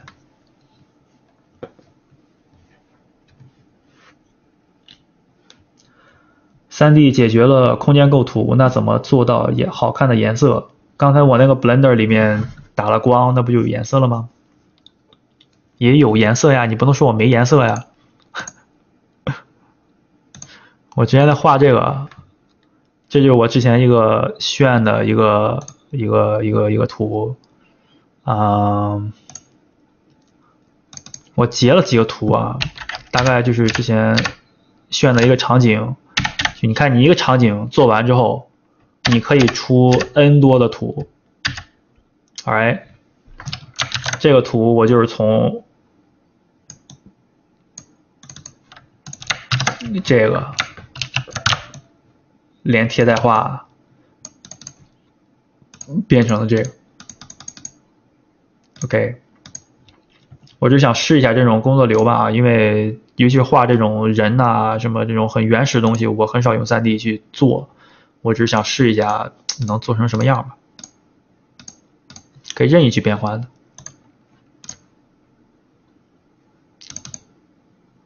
啊，还有这个，这个我在就刚才那个那个那个图，我在画还没画完，就是这个图我我呃我贴的比较多，然后。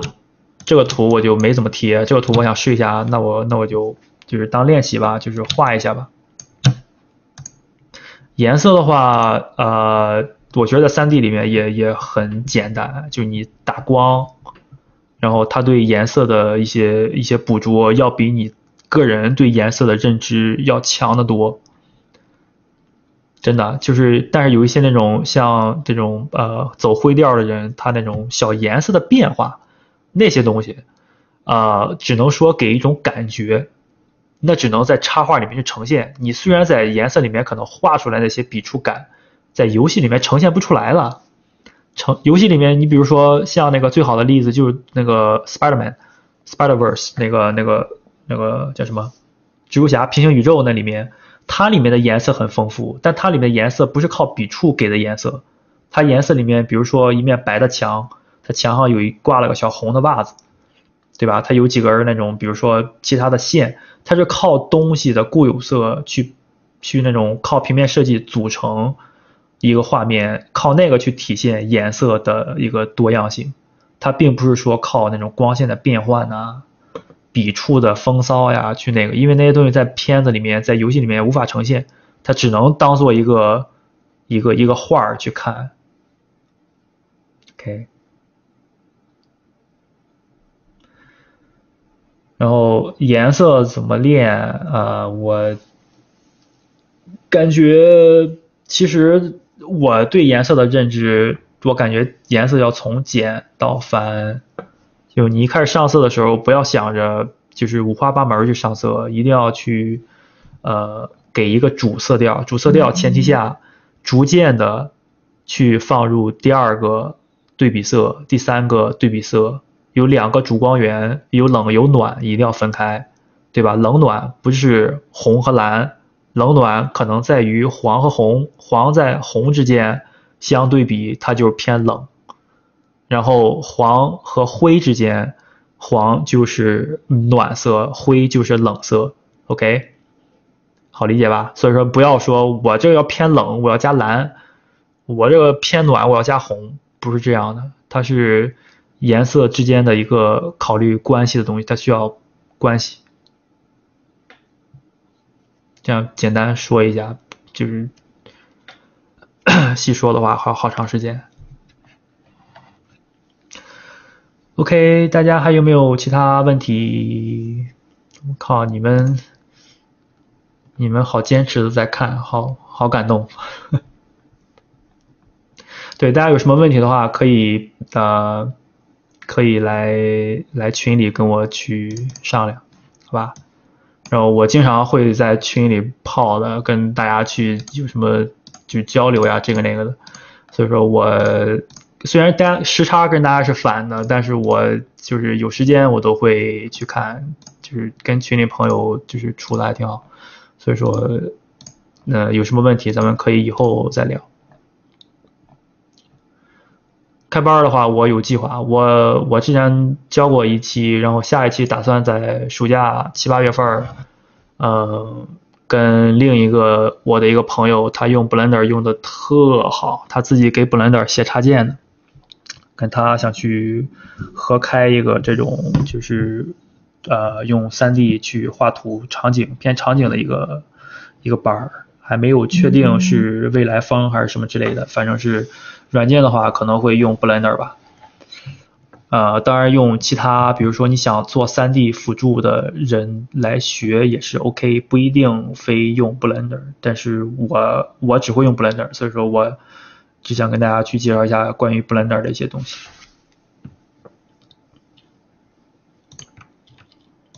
群号，这个，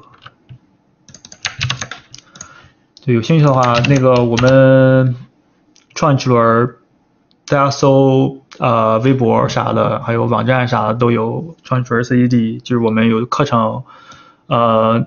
都是一些就是我很信赖的一些朋友和一些老师在我们这儿教课，都是一些呃在职人员。跟大家说，就是我很强调的就是老师一定要去在职。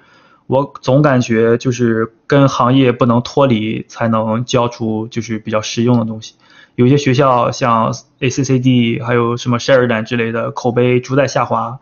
就是因为他们的老师都是转成 full time 教课，他们跟行业脱节了，OK，所以说导导致他们对那个对那个呃，就是可能会画画，但是说跟行业脱节，我觉得是个很大的问题。你以行业脱节的人去教课，这是很大的一个问题。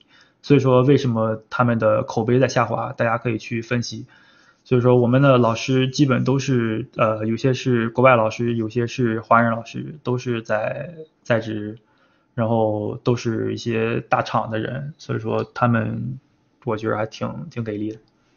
对，大家可以去看一下我们之前就是往期的学生，有概念设计，他有现在正在招生的是一个 ZBrush，就之前做。圣歌的那哥们儿，他没有放他的图啊，这人，对我们这老师现在正在开班我他之前还做那个蜘蛛侠平行宇宙，给他市场部做了很多呃宣传图，他这人很有才，他画的很好，然后这些插画什么的，他画的是很给力。然后他 3D 设计也很很给力，对他现在正在他教过一期，然后觉得还挺不错的。然后他主教就是呃科幻概念人设吧，然后这些东西 Marvel Design 做衣服啥的。大家不要觉得就是我要做人设，我就是完全看软件啊，这不对的。做人设你要把那个人那个从解剖学起，他解剖呃人体动态结构这些东西最根本的东西一定要去学，不是说我有了 3D 就万能了，我那些都可以抛弃，不是那样的。然后其他概念设计课也会逐渐的有，大家看我们的网站都会随时更新吧。呃，我靠，网站名字是吗？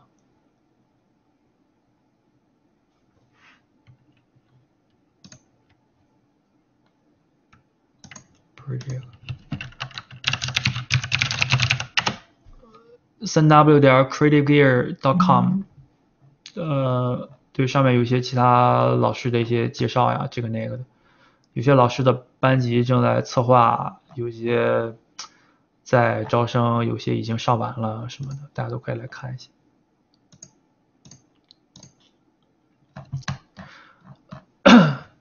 OK，还有没有其他的问题？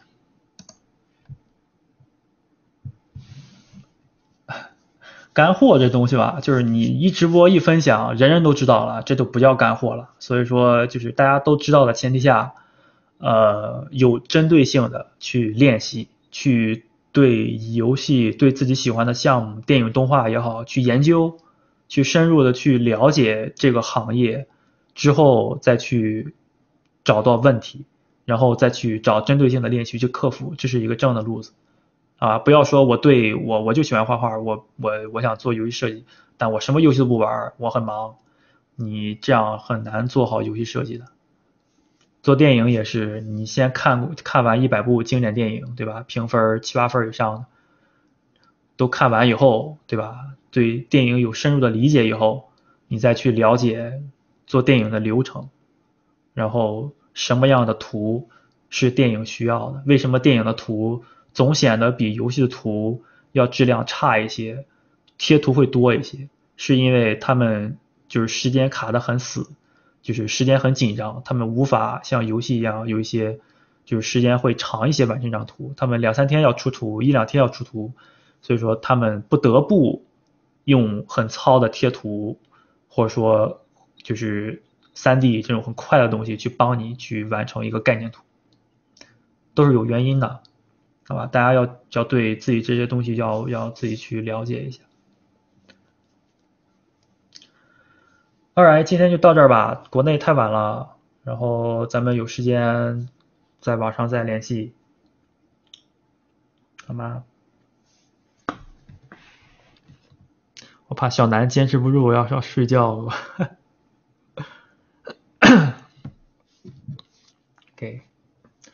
All right，大家今天就到这儿，咱们以后有时间再直播再探讨。OK。大家晚安，我们回头见，拜拜。